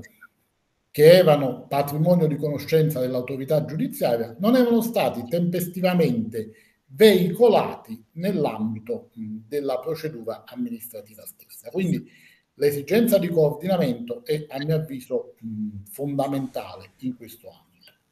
Ed anche eh, quel richiamo che è stato fatto alla, al rilascio delle certificazioni antimafia, che non deve essere soltanto un adempimento in qualche modo statico o formale, eh, ma invece diciamo un adempimento che richiede un'attività istruttoria diciamo ben più complessa mh, è estremamente utile ed è estremamente eh, significativo. Mh, basti pensare eh, che eh, in, un settore, in un settore che è quello mh, relativo diciamo alla, uh, all'erogazione dei contributi uh, comunitari di sostegno all'agricoltura, uh, di sogno all'allevamento, mh, è emerso che è, è, bastato semplicemente svolgere delle, delle certificazioni antimafia e degli accertamenti antimafia in maniera penetrante per poter di fatto evitare che milioni di euro, perché parliamo di milioni di euro, venissero in qualche modo lucrati da imprese controllate o infiltrate dalla criminalità organizzata di tipo mafioso. Quindi è necessario che il controllo si ponga in una prospettiva non soltanto diciamo statica, ma eh, anche in una prospettiva dinamica. Abbiamo poi individuato come mh, prassi operativa mh, in questo caso quello di eh, andare a fotografare una serie di eh, settori mh, mm, che sono quelli caratterizzati eh, da una più ampia mh, mm, vulnerabilità rispetto alle infiltrazioni mafiose, cioè nell'ambito degli appalti pubblici vi sono dei settori che notoriamente sono caratterizzati da una da una maggiore permeabilità. Uno di questi è il settore degli appalti per lo smaltimento dei, dei rifiuti solidi urbani, dove ci si trova molto spesso in presenza di ditte che sono pesantemente infiltrate dalla criminalità mafiosa e che, come diceva esattamente prima il signor prefetto, sono ditte che molto spesso ricevono una interdittiva antimafia dalla prefettura di Salerno, ma poi partecipano ad una gara d'appalto uh, a Caltanissetta e questi dati non sempre sono dati, diciamo, prontamente disponibili in sede di istruttoria e di rilascio quindi della certificazione antimafia da parte dell'ente eh, nel cui ambito territoriale si va a svolgere quella determinata gara d'appalto. Quindi un primo problema è sicuramente questo. Un secondo eh, problema è eh, che ehm, questo settore mh, viene eh, pesantemente condizionato anche diciamo, mediante il ricorso alle procedure d'urgenza. Procedure d'urgenza che d'urgenza non sono perché eh, praticamente viene in qualche modo precostituita una situazione di urgenza, non viene bandita una regolare gara d'appalto, per cui il sindaco ricorre diciamo, a dei provvedimenti tamponi, le ordinanze sindacali contingibili ed urgenti, con cui abbiamo assistito per anni, in qualche caso anche per decenni, alla attribuzione di appalti per lo smaltimento dei rifiuti solidi urbani al di fuori di qualsiasi procedura operativa, al di fuori di qualsiasi trasparenza, a ditte locali o comunque a ditte controllate dalla locale consorteria mafiosa. Quindi l'infiltrazione non è soltanto nel momento della realizzazione dell'appalto attraverso il canonico meccanismo che ben conosciamo dei, dei subappalti, ma è anche molto spesso a monte, cioè si precostituisce una situazione tale che consente alla parte politica di andare ad utilizzare il sistema strumentalmente dell'ordinanza contingibile ed urgente, ed urgente per andare ad assegnare determinati compiti ad imprese che si sottraggono ad ogni tipo di controllo. Altro meccanismo, diciamo, è che abbiamo riscontrato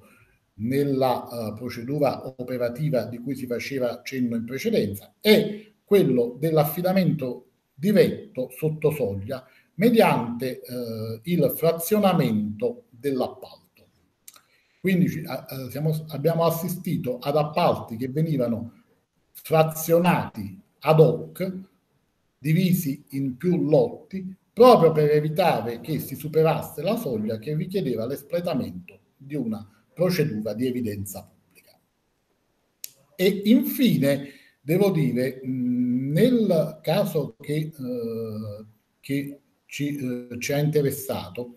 c'era anche, diciamo, una certa inerzia proprio per queste imprese da parte dell'amministrazione comunale nel richiedere alle imprese di produrre la certificazione antimafia. Mi rendo conto che questo è un caso limite che ehm, è dovuto al fatto che ci siamo trovati ad operare in una realtà caratterizzata da una profonda infiltrazione mafiosa e da un substrato, diciamo, di presenza mafiosa che fortunatamente non è comune ad altre parti del uh, territorio nazionale. Però va anche detto che um, con la sempre maggiore delocalizzazione delle organizzazioni mafiose, il problema, a mio avviso, è un problema che può porsi anche in ambiti che invece si potevano ritenere forse fino a qualche decennio fa immuni da, da questa problematica e da queste tematiche. Passo brevissimamente per non togliere spazio agli altri relatori, anzi colgo l'occasione per salutare il collega Luca Tescaroli che non ho salutato prima, ma col quale condividiamo un, un percorso di, di, attività investigative in coordinamento. Dicevo, non voglio togliere tempo a nessuno e quindi passo ad esaminare veramente molto brevemente gli aspetti di novità del decreto ministeriale del Ministero dell'Interno dell'ottobre del 2003 che mi sembrano mh, più, mh, più interessanti. Il decreto mh, pone, secondo me, come linea direttiva quello e quindi diciamo in qualche modo istituzionalizza quella che è la necessità di un coordinamento interno ed esterno. Coordinamento interno nel senso che responsabilizza molto i componenti, diciamo, del eh, gruppo GIA a interfacciarsi con tutti i limiti ovviamente legati al segreto investigativo con le amministrazioni di appartenenza per, e quindi con le autorità di polizia giudiziaria di appartenenza, per acquisire ed arricchire il compendio informativo che è necessario per l'adozione dei provvedimenti preventivi. E quindi questo vi è sicuramente un profilo di coordinamento interno che tende ad arrivare, diciamo, verso un'attività che potremmo anche definire, anche se il termine eh, magari potrà far storcere il naso a qualcuno, di polizia di prevenzione. L'altro aspetto è invece il coordinamento esterno con l'autorità giudiziaria ed in particolare con le DDA mh, territorialmente competenti. Questo aspetto è finalmente, direi, istituzionalizzato nell'ambito del decreto che eh, prevede praticamente, se non vado errato, all'articolo 5 che eh, parla per l'appunto di, della comunicazione dei flussi informativi, prevede ed istituzionalizza la partecipazione del procuratore distrettuale o mh, del, di suo delegato alle riunioni coordinate dalla prefettura del gruppo Interforze, del gruppo GIA. Quindi una collaborazione sicuramente rafforzata che mh, sì, che viene poi esplicitata, direi, in maniera estremamente mh, specifica dal successivo articolo 6, mh, che fa un'elencazione, diciamo, abbastanza specifica di uh, provvedimenti che le prefetture possono richiedere e che l'autorità giudiziaria è, segnal- è tenuta a fornire sempre diciamo, ma lo do per scontato, nel rispetto del segreto investigativo, per consentire un'adeguata istruttoria delle procedure amministrative. Ad esempio, ed è quello che poi è successo molto banalmente nel caso uh, che ci occupa, ad esempio provvedimenti cautelari mh, sia provvedimenti emessi dal GIP ma anche provvedimenti eventualmente confermativi del Tribunale del riesame ed addirittura della Cassazione che si pronuncia in sede cautelare rispetto ad un determinato grave o gravissimo quadro indiziario. A maggior ragione, se ci si arriva, ma con i tempi della giustizia questo non sempre è possibile, sentenze di condanna anche di primo grado, ma soprattutto, e qui mi ricollego all'incipit degli interventi che mi hanno preceduto, provvedimenti e decreti di applicazione di misure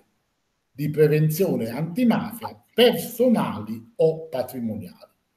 Perché devo dire che probabilmente, anzi senza probabilmente, certamente, lo strumento della misura di eh, prevenzione eh, antimafia che consente di fatto una anticipazione, se così possiamo dire, della soglia di intervento con un coefficiente probatorio di gran lunga inferiore rispetto a quello che è richiesto per arrivare, non dico a una sentenza di condanna, ma anche semplicemente ad un provvedimento cautelare, anche di natura reale, per esempio un sequestro preventivo in corso di indagine. Dicevo, la misura di prevenzione patrimoniale consente di far emergere tutta e di valorizzare tutta una serie di elementi che possono essere di grandissima importanza e di grandissimo interesse delle prefetture nello svolgimento dei compiti eh, a loro demandati.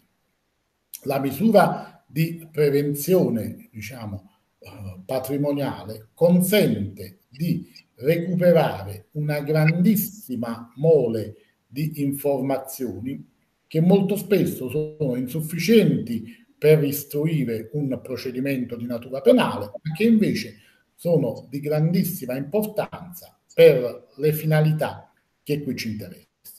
L'altro aspetto mh, che è stato oh, sicuramente evidenziato è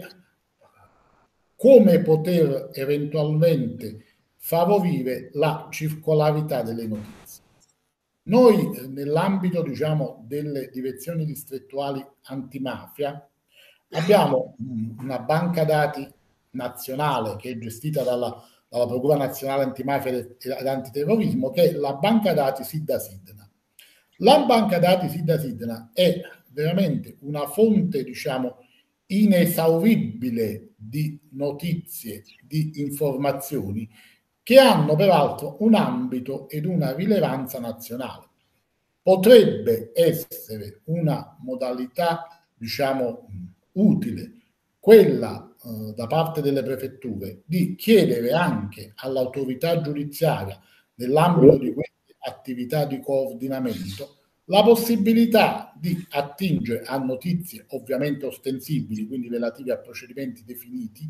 che possono essere contenuti nell'ambito della banca dati nazionale Sidda Sidna, che mh, è uno strumento che va ulteriormente implementato, ma che allo Stato consente comunque di avere una conoscenza, direi, quasi enciclopedica rispetto a molte mh, vicende, soprattutto una conoscenza che si basa mh, sul, sull'intero mh,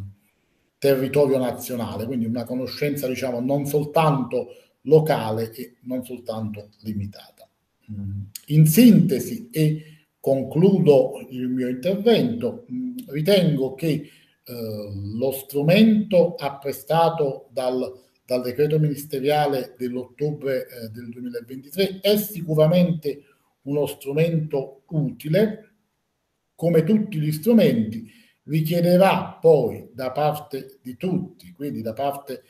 delle autorità prefettizie e da parte della magistratura un po' di buona volontà per renderlo efficace ed, ed effettivo,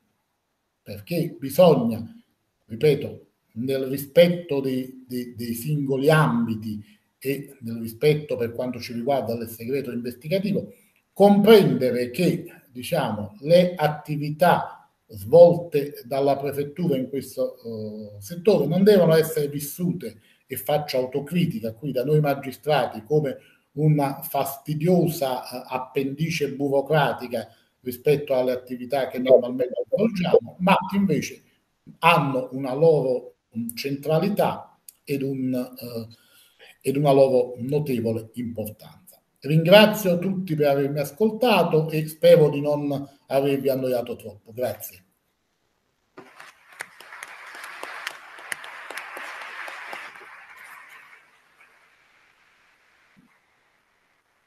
Ringraziamo il eh, dottor Pacifico per questa eh,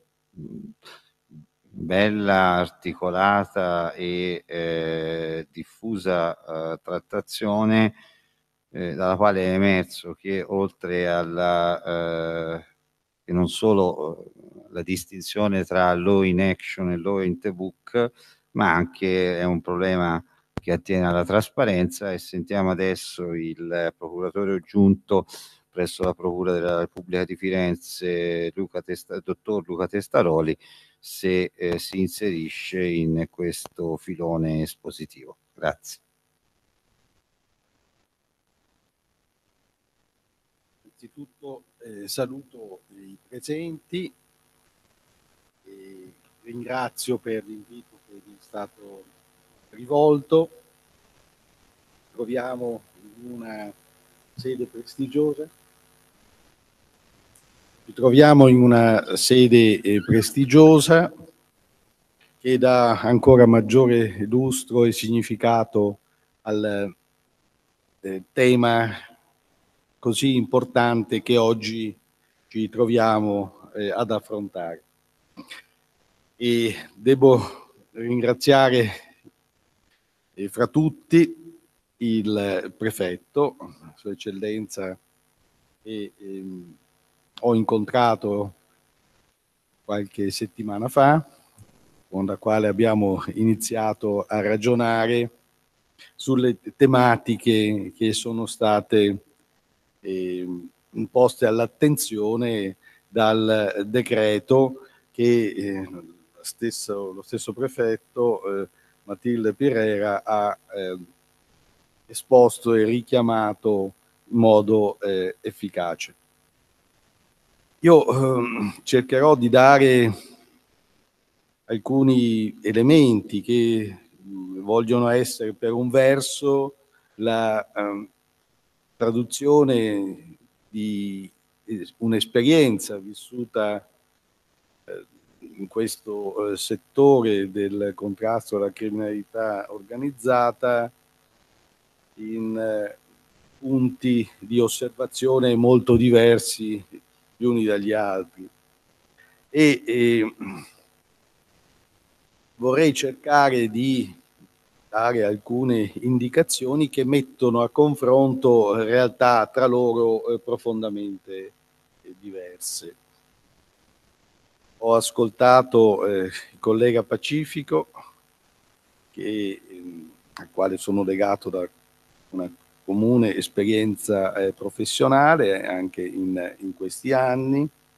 che ha raccontato eh, la sua esperienza in Sena. Un'esperienza che ho vissuto nella prima fase della mia eh, attività eh, professionale, e che eh, mi ha consentito di eh, venire a contatto con eh, una realtà eh, molto peculiare dove l'infiltrazione mafiosa eh, era particolarmente intensa. Ci sono delle indicazioni che mi sembrano molto efficaci per delineare quello che era il meccanismo, e che ancora sotto certi aspetti è il meccanismo dell'infiltrazione in eh, settori ad alta densità mafiosa come, come quello eh, nisseno e palermitano. E, e, è il racconto di un collaboratore di giustizia oggi deceduto che ha iniziato a eh, dare il suo apporto con l'autorità all'autorità inquirente che è Angelo Sino, il quale, vivendo ai margini della criminalità mafiosa, soprattutto quella di San Giuseppe Iato, e ha spiegato quello che era il meccanismo di gestione del, degli appalti da parte dell'organizzazione mafiosa denominata Cosa Nostra e ha descritto il cosiddetto meccanismo del tavolino, un, una metodica di gestione degli appalti pubblici trilaterale che vedeva il, il condizionamento dell'assegnazione dei lavori sotto molteplici forme da parte di Cosa Nostra, la suddivisione dei proventi delle, delle attività rivenienti da versamenti di tangente da parte di imprenditori condizionati e la ripartizione di questi proventi tra il, il potere esercitato dal, dalle cosche locali e, e, i referenti politici con i quali necessariamente si doveva interferire. E prima dell'inizio della sua collaborazione del 1997 ricordo un caso trattato che mi, mi sembra casticamente la rap- rappresentazione di quella che era eh, una realtà che dimostrava l'esistenza di questo eh, connubio così stretto. E eh, il riferimento è alla gestione di un appalto relativo alla costruzione di un istituto tecnico per geometri in Caltanissetta e relativo, un appalto relativo alla costruzione di un palazzetto dello sport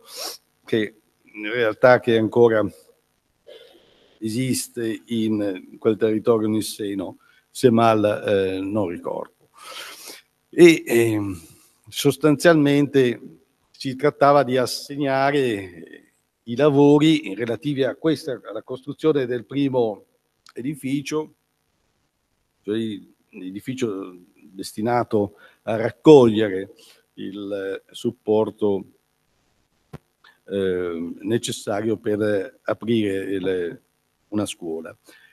E ciò che è avvenuto ci è stato raccontato è uno dei primi collaboratori di giustizia che eh, hanno iniziato a intraprendere un rapporto eh, collaborativo con l'autorità giudiziaria. Si tratta delle indicazioni che provengono da Leonardo Messina, indicazioni che furono alla base della prima operazione di spessore dopo le stragi di Capaci e di Via D'Amelio. Il nome di costui è Leonardo Messina, che era un soggetto che rivestiva il ruolo di capodecina nella famiglia di San Cataldo e costui eh, iniziò eh, proprio il suo rapporto di collaborazione consegnando eh, due certificati antimafia. Due certificati antimafia che erano stati sottratti da delle buste di imprese che avevano partecipato eh, all'assegnazione della gara per questo istituto tecnico commerciale. E ehm, spiegò come avevano addomesticato questa gara. E ci spiegò che egli stesso si recò dall'allora assessore per i lavori pubblici della provincia regionale, perché questa è la denominazione di prefetto, il collega Pacifico ben lo sanno, di, eh, di eh, Caltanissetta. Possiamo anche fare il nome perché vi è una sentenza passata in giudicato. Si rivolse a questo assessore Gianfranco Occhipinti, che poi divenne e venne nominato eh, eh parlamentare e ottenne proprio da, eh, dallo stesso eh, le buste presentate da una impresa, l'impresa Stancanelli, che eh, si era rifiutata di aderire alle sollecitazioni che avevano posto in essere i mafiosi per condizionare la gara. Si fece consegnare le buste, si recò in una mansarda di fronte al Palazzo di Giustizia e con un temperino aprì la busta, estrasse i certificati antimafia e richiuse con la ceralacca eh, le buste che restituì e, e che restituì all'assessore. Fu eh, da parte degli imprenditori che si aggiudicarono la gara ai fratelli Anzalone consegnata una tangente di 200 milioni di lire che venne consegnata eh, ai eh, mafiosi a Messina, il quale provvide a distribuire, a distribuire questa tangente dando una parte al, eh, all'assessore, una parte destinata alla famiglia di San Cataldo. Una di, delle altre imprese che non si erano prestate a seguire le direttive era l'impresa di Ranieri, il quale venne poi assassinato a Palermo. E questo credo che sia eh, il meccanismo, il meccanismo eh, che descrive qual era eh, l'intimo connubio nella gestione del, degli appalti pubblici. E un altro imprenditore che iniziò a collaborare con la giustizia, eh, Cosentino, una collaborazione in vero parziale e limitata ad alcune gare, si, ammise, eh, si determinò, determinò ad ammettere il versamento di alcune tangenti per eh, ottenere l'aggiudicazione eh, degli appalti. E ricordo che alla presenza del suo difensore eh, gli dissi, ma lei ha cominciato a fornire questo apporto, continui, prosegua. Eh, c'era un'indagine molto ampia di radiografia della gestione degli appalti in, in diverse parti del, del Nisseno e mi stupì che sebbene egli risultasse coinvolto in altri appalti non fornisse indicazioni dello stesso tipo. E quindi lo invitai a proseguire in questo, in questo rapporto, ma lo stesso tacque e parlò, con, e parlò il, suo, il, suo, difensore, il quale in maniera molto candida eh, mi disse, qui tutti, ma proprio tutti gli appalti sono condizionati. Se il mio cliente, pare, se il mio cliente continuerà a parlare verrà ucciso. Due, un dato sintomatico di quella che era la realtà di profondo, quella che è una realtà di profondo condizionamento, che è una realtà di condizionamento eh, diversa eh, rispetto a quella che si vivono in realtà come quella eh, romana oppure come quello che si può vivere qui in Toscana, perché la Toscana non è la Sicilia, non è la Calabria, non è la Puglia, non è la Campania. Però vi è tuttavia una presenza stabile, una presenza stabile e organizzata di strutture criminali, o meglio di esponenti di strutture criminali mafiose, che sono operative sin dagli anni 80 e dagli anni 90, che hanno avuto manifestazioni cruente. Basti pensare alla eh, strage di Natale del 23 dicembre del 1984, quando eh, esplose un ordigno sul treno nella grande galleria dell'Appennino in località San Benedetto Val di Sambro, o alla strage di nove anni dopo, del 1993, la strage di via di Gergofi. E una manifestazione che, è, eh, che è stata preceduta stata preceduta da attività di, di, investimento che sono state effettuate prima della strage eh, di Natale del 23 dicembre del 1984 da eh, Pippo Calò, il quale investì eh, in una zona nostro, del nostro distretto, in Toscana, in località Baco di Monte San Savino, in provincia di Arezzo. E Calò è una delle figure più note della criminalità mafiosa e di Cosa Nostra in particolare, cosiddetto cassiere della mafia, anzi forse il cassiere proprio, e che rivestiva e riveste il ruolo di capomandamento di Porta Nuova, ma nello stesso, assieme a Lorenzo di Gesù, un altro mafioso, uomo d'onore del mandamento di Caccamo, si recò eh, con, proprio in quella località e con delle società messe a disposizione da Ernesto di Otallevi, soggetto vicino alla banda della Magliana e legato da rapporti economici con Pippo Calò, l'11 febbraio del 1982 ha acquistato da William Weaver un appezzamento di terreno con una costruzione per 165 milioni di lire. Una un bene che è stato intestato a Carolina Lucarini, moglie di Diotallevi, gestrice, amministratrice della società immobiliare Rosi. Ancora eh, Calò ha effettuato un altro acquisto, sempre con lo stesso supporto di Lorenzo di Gesù, e ha acquistato da Florian Vecchi il primo marzo dell'82, quindi a distanza di poco tempo, un, un, altro immobile per la somma di 160 milioni di lire. E questo immobile venne intestato alla nipote di Lorenzo di Gesù, Maria Elena Panzeca.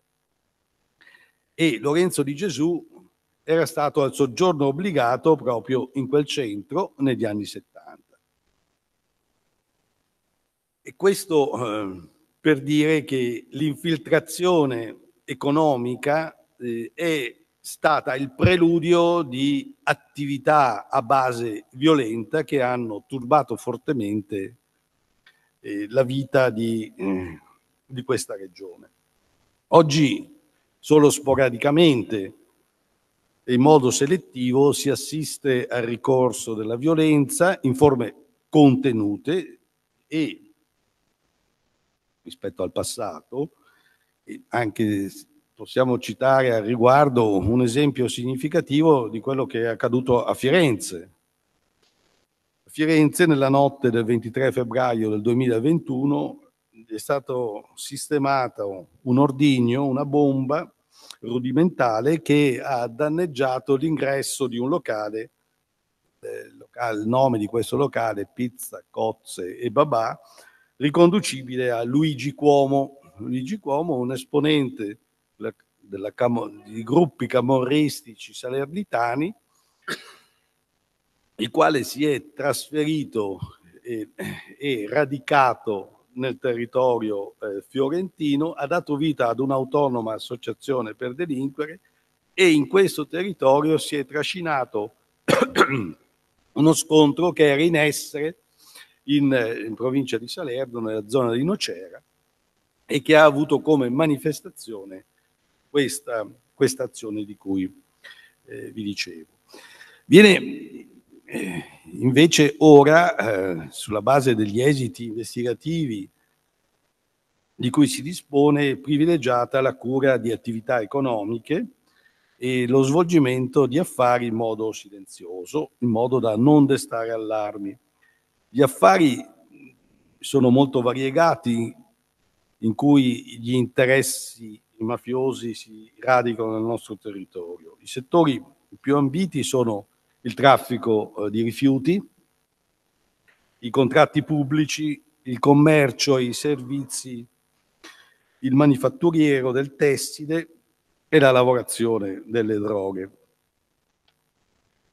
Sono presenti in realtà delle compagini criminali straniere molto agguerrite, quella cinese e quella, eh, quella albanese, che sono inserite in un network criminale che coinvolge strutture mafiose tradizio anche tradizionali radicate nel, nel nostro territorio e, e, sono emersi non solo plurimi contatti tra imprenditori e professionisti insediati nel territorio ed esponenti dell'Andrangheta, della Camorra e di Cosa Nostra, plurimi contatti che si sono tradotti in condotte delittuose di tipo corruttivo, che hanno coinvolto esponenti della pubblica amministrazione in rati tributari anche con finalità di agevolazione di consorzi mafiosi. E sono stati anche individuati soggetti inseriti in associazioni di tipo mafioso e condannati per eh, aver fatto parte di associazioni di tipo mafioso che hanno dato vita a sodalizi criminosi collegati con le case madri operativi nella regione, che sono anche risultati destinatari di misure di prevenzione, un settore sul quale il nostro ufficio, la Procura distrettuale di Firenze in particolare, ha investito eh, molte energie e molte risorse perché è uno strumento eh, fondamentale. Uno strumento fondamentale sia per neutralizzare le infiltrazioni mafiose con standard probatori differenziati rispetto al procedimento penale, ma comunque nel quadro di un procedimento eh, a base giurisdizionale, sia per eh, ostacolare l'attività di riciclaggio che è molto spesso collega, risultata collegata all'attività di infiltrazione. Vi consegno un dato che ovviamente in senso assoluto a livello nazionale ha poco rilievo se paragonato a quello della realtà, ad esempio, eh, campana o, o calabrese o siciliana, eh, ma che per una realtà come la nostra se era affrontato rispetto a quello che è accaduto eh, nel passato, assume un significato. Sono stati infatti confiscati in larga parte attraverso una confisca divenuta definitiva beni eh, per un valore di circa 50 milioni di euro nel periodo che va dal giugno del 2019 al 2022. Eh, Vari sono stati i casi di misure di prevenzione che sono state indirizzate nei confronti di imprenditori, di imprenditori impegnati nel traffico eh, relativo ai rifiuti e che si occupavano di eh, appalti di, di rilievo. E le misure di prevenzione io credo siano eh, un po' una, una, chiave, una chiave di volta, anche perché accanto alle misure draconiane, quella del sequestro e della confisca, sono state introdotte delle misure di prevenzione cosiddette MITI, che sono, eh, come è noto, l'amministrazione giudiziaria prevista dall'articolo 34 e il controllo giudiziario previsto dall'articolo 34 bis e che sono misure che lambiscono, pur con dei tratti differenziali, proprio le interdittive antimafia, così come strutturate e affinate negli ultimi tempi e che hanno visto anche, eh, diremo così, l'impatto del decreto ministeriale del 2 ottobre del 2023. E eh, Abbiamo a disposizione dunque una serie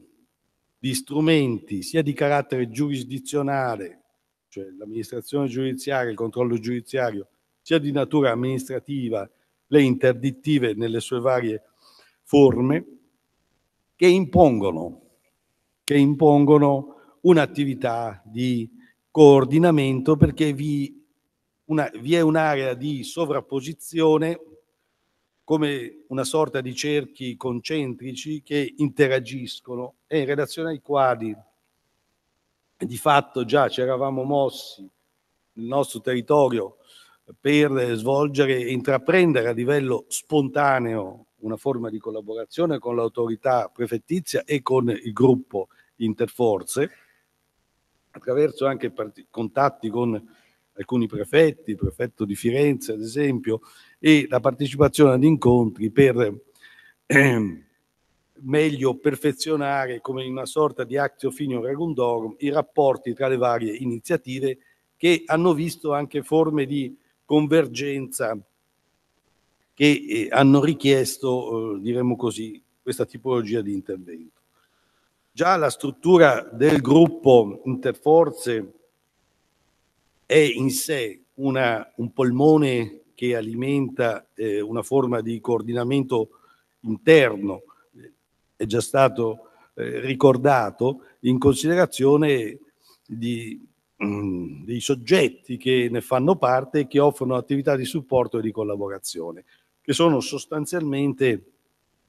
i principali referenti nelle iniziative proiettate all'adozione delle molteplici forme di misure di prevenzione. Però nonostante questo eh, si è avvertita questa esigenza anche perché si sono verificati casi nei quali il pubblico ministero, il procuratore distrettuale ha adottato iniziative volte a chiedere l'applicazione di misure di prevenzione e in attesa della decisione da parte del Tribunale del, del, della prevenzione è intervenuta l'applicazione di un'interdittiva antimafia, che sono situazioni che si reggono, si legano male, che non possono eh, convivere. E il, diciamo, questo decreto io lo saluto con, in termini estremamente positivi, perché ha, per così dire, con i suoi elementi di novità, tradotto in termini regolamentati quello che è, era la necessaria e imprescindibile forma di interlocuzione tra il procuratore distrettuale e il, il prefetto e i prefetti del nostro distretto in particolare e lo ha detto bene anche il collega Pacifico, c'è la necessità di eh, rendere attuale ed effettivo questo eh, coordinamento, il che porterà ad adottare iniziative da parte della Procura distrettuale nei confronti dei signori prefetti per creare le eh, condizioni per concretamente rendere possibile questa forma di coordinamento, dove devono bilanciarsi interessi parimenti importanti, ma di diversa natura, perché vi è per un verso l'esigenza di tutelare la riservatezza delle investigazioni per l'altro verso di assicurare l'operatività di questi molteplici strumenti terapeutici di intervento nei confronti delle imprese che possono essere, diciamo così, proiettate al recupero delle imprese sane, come le misure di prevenzione miti e le interdittive che vanno gestite con molta oculatezza perché possono anche tradursi in uno strumento di distruzione de dell'impresa per le conseguenze che ne derivano e che viaggiano parallelamente a quelle che sono le, le eh, misure di prevenzione tradizionali, quelle draconiane che vengono applicate quando l'impresa è irrecuperabile, cioè quando il tasso di contaminazione è così intenso per cui eh, non si intravede la possibilità di un recupero e vi è una spiccata pericolosità sociale da parte del tessuto imprenditoriale sotteso all'impresa, è chiaro che si deve necessariamente ricorrere a quelle misure, ma noi dovremmo, eh, diremmo così, puntare molto sull'adozione di queste, di queste forme di eh, trattamento terapeutico ecco, delle, delle imprese. E vorrei anche, nell'avviarmi alla conclusione, perché non voglio occupare troppo spazio, vorrei sottolineare un dato che dimostra quello che è l'ambito operativo di, di, questi strumenti di cui stiamo parlando. Cioè il destinatario dell'informativa, eh, dell'informazione interdittiva può essere l'impresa del mafioso o quella del terzo agevolatore dell'impresa mafiosa, che commette uno dei reati di cui l'articolo 51,3 bis, quei reati per così dire a vocazione agevolativa del tessuto mafioso e tipicamente mafioso, e tipicamente mafiosi, e mentre il destinatario della ehm, misura di prevenzione mite, quindi l'amministrazione giudiziaria e il controllo giudiziario, è un'impresa terza, cioè un'impresa che eh, deve avere come presupposto eh, ne negativo il fatto che non risulti la pericolosità eh, dell'imprenditore. Ed è una misura che sulla base dell'esperienza dell che ho eh, vissuto si può applicare alle imprese medio-grandi, dove vi è una sorta di separazione tra eh, quella che è la titolarità dell'impresa e la compagine sociale. È difficile da adottare da applicare, e da applicare eh, nei casi di piccole, di piccole imprese. Abbiamo, eh, diciamo così, la, una diversità di presidio indiziario per l'interdittiva antimafia, che è uno strumento preventivo che eh, necessita di una gravità eh, probatoria meno intensa rispetto agli strumenti di cui dicevo del giuria di prevenzione MITI. E, e vorrei sottolineare che però in realtà non è sempre così facile eh, distinguere quando l'impresa è, è terza da quando eh, invece eh, non lo è, perché la metodologia tipica dell'agire dell'imprenditore mafioso presenta circostanze gradate di coinvolgimento, ad esempio il concorso nel reato, il favoreggiamento dell'imprenditore che in molti casi inizia come una vittima e poi da vittima evolve la propria condotta in una sorta di consapevole agevolazione. Quindi in questo passaggio dinamico che si è riscontrato nella prassi non sempre è facile individuare la sussistenza dei presupposti per la terzietà. Queste sono misure, sono misure che attengono all'impresa stessa, non, non all'imprenditore. Vi è eh, in realtà anche un'ulteriore misura che in, questi, in questo ambito impatta, che è una misura che vede sempre l'intervento del prefetto ed è una misura che eh, è, stata, è introdotta dall'articolo 32 del decreto legislativo del 24 giugno 2014, un decreto legge del 24 giugno 2014, convertito nella legge dell'11 agosto 2014 e attiene ai reati di corruzione. E sempre più vengono attratti dall'agire delle consorterie mafiose. E eh, il prefetto, su proposta del presidente dell'ANAC, può procedere di autorità eh, rinnovando gli organi sociali, ovvero provvedendo a nominare uno o più amministratori. Quindi la poliedricità degli strumenti impone eh, vi è più una forma marcata di eh, coordinamento. Il coordinamento è un vettore che sempre più deve permeare l'operare del, delle autorità amministrative e del, dell'attività del, giudiziaria e giurisdizionale. Per, e, e, ciò al fine di rendere più qualificato l'intervento, più eh, appropriato per cercare di contrastare e neutralizzare un fenomeno insidioso e pericoloso come quello della infiltrazione eh, degli appalti nel settore eh, dell'economia. Grazie. Ringrazio. Ringraziamo anche il procuratore aggiunto Luca Tescaroli per questa eh, esposizione che ha eh, rinnovato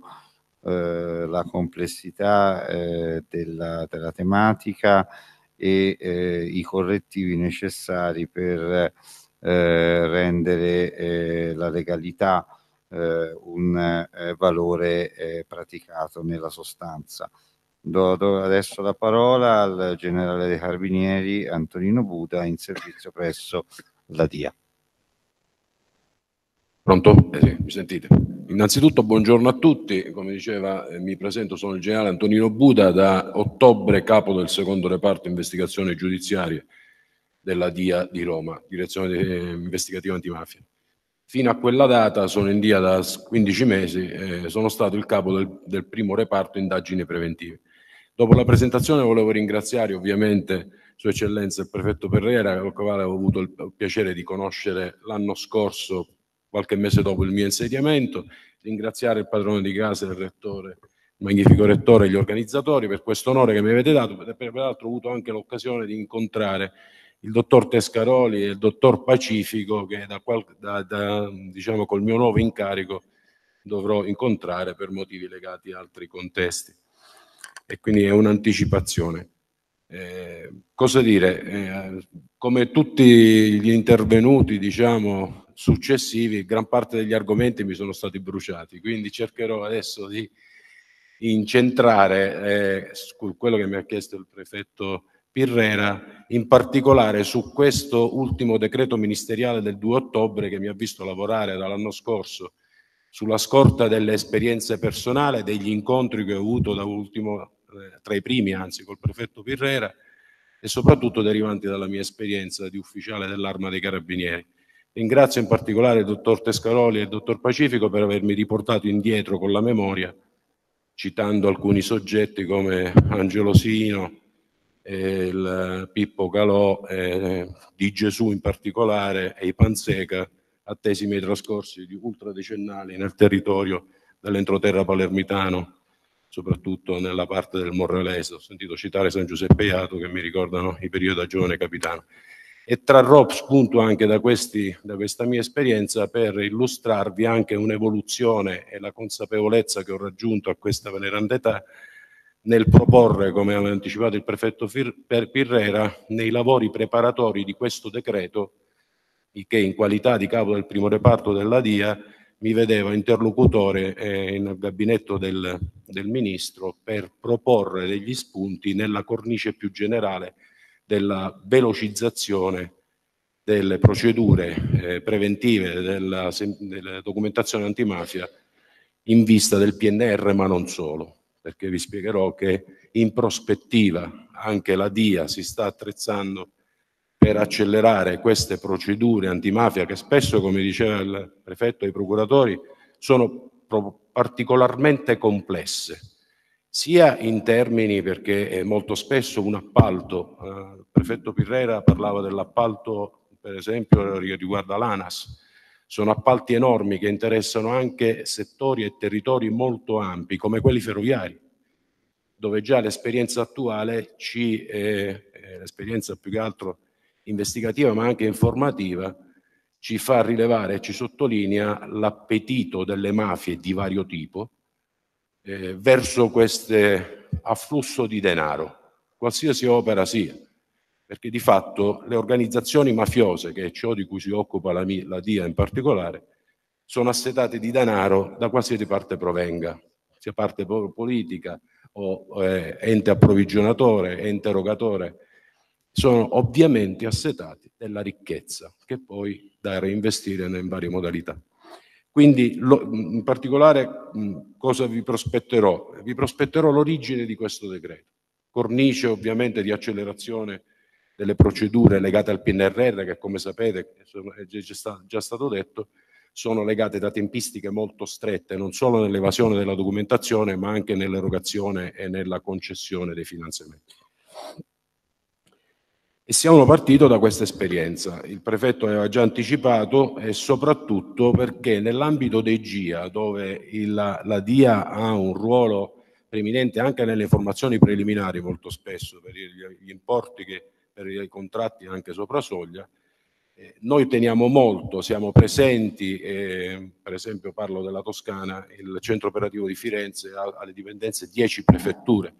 quindi riserviamo particolare attenzione a questo aspetto, alla nostra partecipazione nel eh, coordinamento assieme alle altre forze di polizia, eh, carabinieri, polizia e guardia di finanza, nel fornire un contributo che possa mettere in condizione il prefetto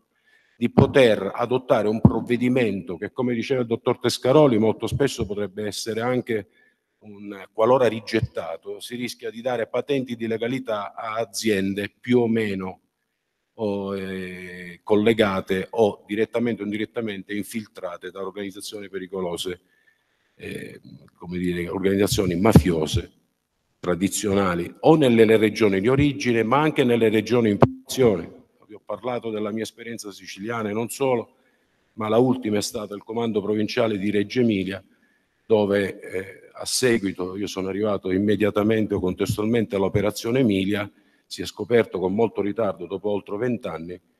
una infiltrazione in particolare di una famiglia del Cadenzarese che aveva permeato, se non monopolizzato, l'intero settore edile. Non a caso ancora oggi la prefettura di Reggio Emilia è in grado di esprimere numeri di interdittivi antimafia che molto spesso, come si dice, fanno saltare il conto nell'ambito nazionale. Proprio perché negli anni, partendo dal soggiorno obbligato di un certo dragone, si sono gradualmente inserite delle famiglie di vario tipo, con varie denominazioni, monopolizzando in particolare il settore edile, ma non solo. Quindi un po' come diceva il dottor Tescalori in Sicilia, ai tempi di Sino non c'era appalto che sfuggiva alla mafia, anche in Emilia Romagna, seppur con ritardo, si è scoperto che gran parte dei lavori, non solo pubblici, venivano approvvigionati o, quantomeno si accaparrati da questi propaggini di organizzazioni mafiose che mantenevano comunque il loro centro di influenza nella madrepatria, in provincia di Catanzaro in particolare. Quindi venendo a noi, eh, il prefetto mi ha, eh, come dire, diciamo in quest'ottica, nell'ambito delle riunioni propedeutiche per formulare questo decreto ministeriale, mi sono sentito in particolare di trasfondere in un atto che mi pare apprezzato un po' da tutti, di una prassi che eh, ripetuta, che anch'io all'epoca adottai da ultimo a Reggio Emilia, ma non solo, in una interlocuzione informale con i vari procuratori di riferimento, siano procuratori ordinari che presso la DDA dell'epoca, per interfacciarci nello scambio informativo, come sempre nel limite dell'ostensibilità e nel rispetto del segreto investigativo, perché mettessimo in condizione un'autorità locale a cui è stata demandata tutta l'attività preventiva, eh, nelle migliori condizioni per poter emettere un provvedimento interdittiva o comunque un provvedimento di competenza alla luce di documenti oggettivi di argomentazioni, di situazioni oggettive che fossero, che tenessero anche eventualmente nel grado di impugnazione di questi provvedimenti, perché l'accoglimento poteva riverberare anche sul territorio, come dicevo, con patenti di legalità controproducenti per lo sviluppo. Cosa sta facendo la DIA? Oltre a questo, nell'ambito dei lavori preparatori abbiamo proposto, come vedete, un po' tutto quello che poi, tranne la tempistica che poi è stata determinata, credo, dal Ministro, eh, sul resto credo che siano stati accolti tutti i nostri suggerimenti, dalla priorità eh, che eh, deve essere assegnata ai componenti del GIA, perché riguarda tutti i componenti del GIA, i vari esponenti delle forze di polizia, anche e soprattutto traendo spunto dalle riunioni tecniche di coordinamento, quello che succede, la differenza tra il comitato e la riunione tecnica di coordinamento, prevedendo anche la limitazione del, eh, dei GIA alle sole forze di polizia. Questo noi lo abbiamo suggerito perché molto spesso, come talvolta avviene in comitato, il comitato è un po' allargato anche a, a personalità che spesso diciamo, eh, civili, tra virgolette.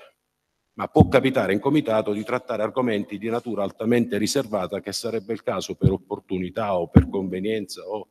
per la riservatezza degli argomenti trattati,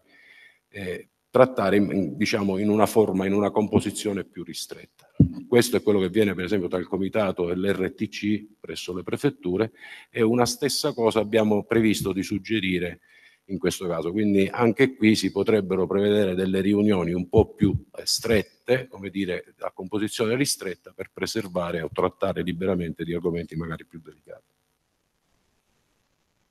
Il resto è stato, perché vi dicevo in previsione? Perché la nostra prospettiva, noi come DIA siamo interessati anche alla, eh, come dire, eh, contribuzione dell'apporto informativo per la struttura di missione, retta oggi dal prefetto Caneparo. Struttura per la prevenzione antimafia si chiama, già struttura di missione, che si occupa delle documentazione antimafia e gli approfondimenti informativi per quanto riguarda inizialmente il cratere sismico e di recente con un provvedimento normativo è stata estesa adesso, la competenza per esempio per i giochi olimpici invernali Milano Cortina dove nostre, dai nostri accertamenti informativi anche lì, sebbene ci troviamo diciamo, dalla parte opposta rispetto alle zone di origine mafiosa, abbiamo registrato forti appetiti delle organizzazioni mafiose anche nelle, diciamo, al nord Italia, all'estremo nord della nostra penisola. Eh, questo contributo eh, diciamo, aggraverà anche diciamo, il carico di lavoro che abbiamo eh, già come eh, GIA. Perché volevo, ho, ho, citato questo? Perché per esempio eh, stiamo già orientando come DIA sempre, come organizzazione, mh, al giubileo. Ci sono a flusso, come dicevo prima, lavori che prevederanno il prossimo giubileo dove alcune informazioni ci protendono, alcune formazioni di società recentissime, come diceva il prefetto Pirrera, anche ricorrendo alle cosiddette teste di legno e prestanome, di società che vengono costituite anche al di fuori della sede legale o in, al di fuori anche dalla, dalla località dove verranno realizzate le opere, proprio al fine di rallentare o aggirare addirittura gli accertamenti, gli approfondimenti informativi antimafia. Abbiamo avuto anche dei casi che hanno portato delle, diciamo, dei risultati positivi in termini di emissione di interdittivi. Questo parliamo sempre del campo della, della prevenzione. Ritornando a quello che aveva accennato il, dottor Pacifico, eh, per esempio agli eh, elementi rinvenibili in SID da SIDNA, il, eh, premetto che i lavori sono stati, questo decreto è stato ovviamente preventivamente concordato anche col procuratore nazionale antimafia che ha espresso il suo parere favorevole anche a questa forma di collaborazione è un importante strumento che noi utilizziamo anche in forma immediata il SIDA SIDNA, per esempio, potrebbe essere all'articolo 6, credo che sia, sì, eh, a cui vengono demandati alle prefetture eventualmente degli accordi di collaborazione con eh, le direzioni distrettuali antimafia per uno scambio informativo, come è stato più volte sottolineato in maniera, eh, devo dire, giustissima, nei limiti dell'ostensibilità delle informazioni e del segreto investigativo potrebbero, questo scambio informativo, adesso l'abbiamo voluto codificare, potrebbe avvenire anche per informazioni che possono essere rinvenibili in quegli atti. Tenete conto che la mole di informazione, l'aveva accennato già Sua Eccellenza Pirrera, è enorme. Anche noi disponiamo di archivi enormi ai sensi per esempio del 160 del TUPS come DIA riceviamo, è stato già accennato poco fa, dalle cancellerie, dal, dal dottor Pacifico, eh, riceviamo dalle cancellerie dei tribunali e delle corti d'appello, nonché dagli uffici di misure di prevenzione e dell'ufficio del GIP, eh, che è previsto che vengano trasmesse, ripeto, ai sensi del 160 del TUPS, copia dei provvedimenti anche in via telematica che vengono emessi per le sentenze irrevocabili di condanna. Quindi i nostri archivi sono immensi e costituiscono serbatoio e base per alimentare e fornire il parere di competenza ai prefetti delle province interessati per la documentazione antimafia. Volevo dare anche un elemento di novità perché eh, già l'anno scorso, sulla scorta, all'esito anche del colloquio fatto con all'epoca prefetto di Enna, dottoressa Pirrera, che trattava, come dicevo, un apparto dell'ANAS, eh, un accenno particolare eh, al controllo ai cantieri. Se noi ci limitassimo alla documentazione antimafia che rinveniamo nelle varie banche dati, alle informazioni antimafia, agli accertamenti, anche approfondendoli sulle fonti aperte, come ha spiegato il prefetto Ferrera, molto spesso non rinveniremmo quelle informazioni diciamo preziosissime che abbiamo in occasione del sopralluogo nei cantieri. Ispezione che ai sensi del 93 del, eh, dell'articolo 93 del codice antimafia competono ai prefetti e che molto spesso, se effettuati a sorpresa e non soffiati prima, come potrebbe accadere da qualche parte, potremmo rinvenire realtà assolutamente diverse rispetto a quelle documentalmente rilevabili è già successo da più parti e proprio in questa direzione ci stiamo muovendo. Noi abbiamo, faccio due numeri assolutamente eh, diciamo, indicativi, per noi sono ancora pochi. Nell'anno che è appena trascorso abbiamo registrato in tutta la penisola italiana 85 accessi ai cantieri, il 47% dei quali concentrati al centro. Perché? Perché al centro abbiamo ancora quel cratere stismico che è, è, diciamo, è appannaggio della struttura di, di, missione, quella che poco fa ho citato, adesso si chiama struttura di prevenzione antimafia. Per me sono molto pochi perché con l'avvento del PNRR e con l'avvio dei lavori del PNRR auspicheremmo un'intensificazione di questi controlli a cui far fronte ovviamente richiedono risorse un controllo al cantiere. Non so se avete esperienza, ma vi spiego in sintesi di che si tratta. A seguito di un decreto motivato del prefetto si costituisce un'aliquota per l'accesso al cantiere, lo ha citato il prefetto, per l'acquisizione di eh, documentazione di interesse o elementi di interesse presso il cantiere o le aziende interessate, composto da aliquote di personale delle forze dell'ordine, eventualmente collaborate da ispettorato del lavoro e quant'altro possa essere ritenuto utile. Quindi è un impegno gravoso non solo per la pianificazione e l'esecuzione, ma anche poi per lo sviluppo degli accertamenti successivi. Allo scopo di contrarre questa attività, già l'anno scorso abbiamo dato mandato, in particolare ho affidato a una ditta specializzata del settore, che è la stessa che si occupa dei nostri Odino, Grifo o Mercurio, sarebbero i tablet delle forze di polizia che ci consentirebbero, in occasione di un controllo al cantiere, una, perché ancora si fa a mano, e oggi si va lì con la penna a trascrivere i verbali, e eh, quindi comporta tempo anche sul posto, con l'ausilio di un tablet potremmo, grazie a dei tag, rilevare immediatamente le generalità e tutte le informazioni necessarie relative a persone, mezzi, documentazione e eventualmente anche mezzi di cantiere presenti nell'area. Il tutto andrebbe informaticamente, siamo nel 2023, mi sembra auspicabile che ci sia un prodotto del genere, eh, travasato immediatamente in un verbale di eh, ispezione al cantiere. Questo per fare in modo che in una mattinata, il tutto ovviamente non solo travasato in un verbale, ma soprattutto do previa interrogazione presso le, tutte ban le banche dati disponibili di cui come DIA e come forze di polizia disponiamo. Cioè nel giro di una mattinata al massimo avere un prodotto immediatamente sfornabile. Perché è strumentale? Sua Eccellenza Pirrera mi darà conferma, perché questo verbale oggi normativamente è previsto che venga depositato un entro un mese alla prefettura di competenza, che a sua volta, dopo averlo vagliato e dopo aver diramato le disposizioni in ordine alle risultanze del verbale, dovrebbe poi inserirlo in SIRAC. Una, il SIRAC è il sistema informativo di, di rilevamento accesso ai cantieri, che è detenuto dalla DIA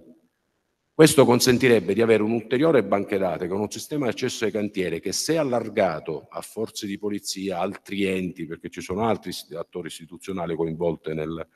nel, diciamo, nell'attività informativa antimafia, potrebbe incrementare quelle informazioni perché una ditta o in subappalto controllata in provincia di Enna potrebbe risultare, è già controindicata, potrebbe risultare, per esempio, vi faccio un esempio molto lato, ma non è così disparato, impegnata nei lavori di manutenzione di una rete ferroviaria in Val d'Aosta. Quindi la convergenza di questi dati, cioè in sintesi, e qui mi avvio alla chiusura per non rubare molto tempo, in sintesi è, è proprio la convergenza da più parti. Oggi l'infiltrazione non è più limitata a livello territoriale o a livello contrattuale, a un contratto L'infiltrazione, piaccia o non piaccia, ci sono territori anche un po' più resistenti a eh, metabolizzare questi aspetti o magari fraintendendoli anche in buona fede, purtroppo non è, non è più solo limitata alle regioni di origine delle organizzazioni mafiose, ma è estesa, come vi dicevo prima, anche in altre regioni dove storicamente è difficile immaginare un consenso del genere e soprattutto è, come dicevo prima, orientata sul maturazione degli interessi. Come poter ostacolare queste infiltrazioni? Una piena consapevolezza, una capacità di immediata denuncia e di segnalazione e soprattutto, visto il tema di oggi qua nell'argomento, in una non gelosa condivisione di informazioni e, e una massificazione delle informazioni disponibili da rendere ovviamente immediatamente fruibili a chi ha poteri o investigativi o amministrativi per poter osteggiare questa che, vi garantisco, è, è stata e continuerà a rimanere una grave minaccia. Grazie a tutti dell'attenzione.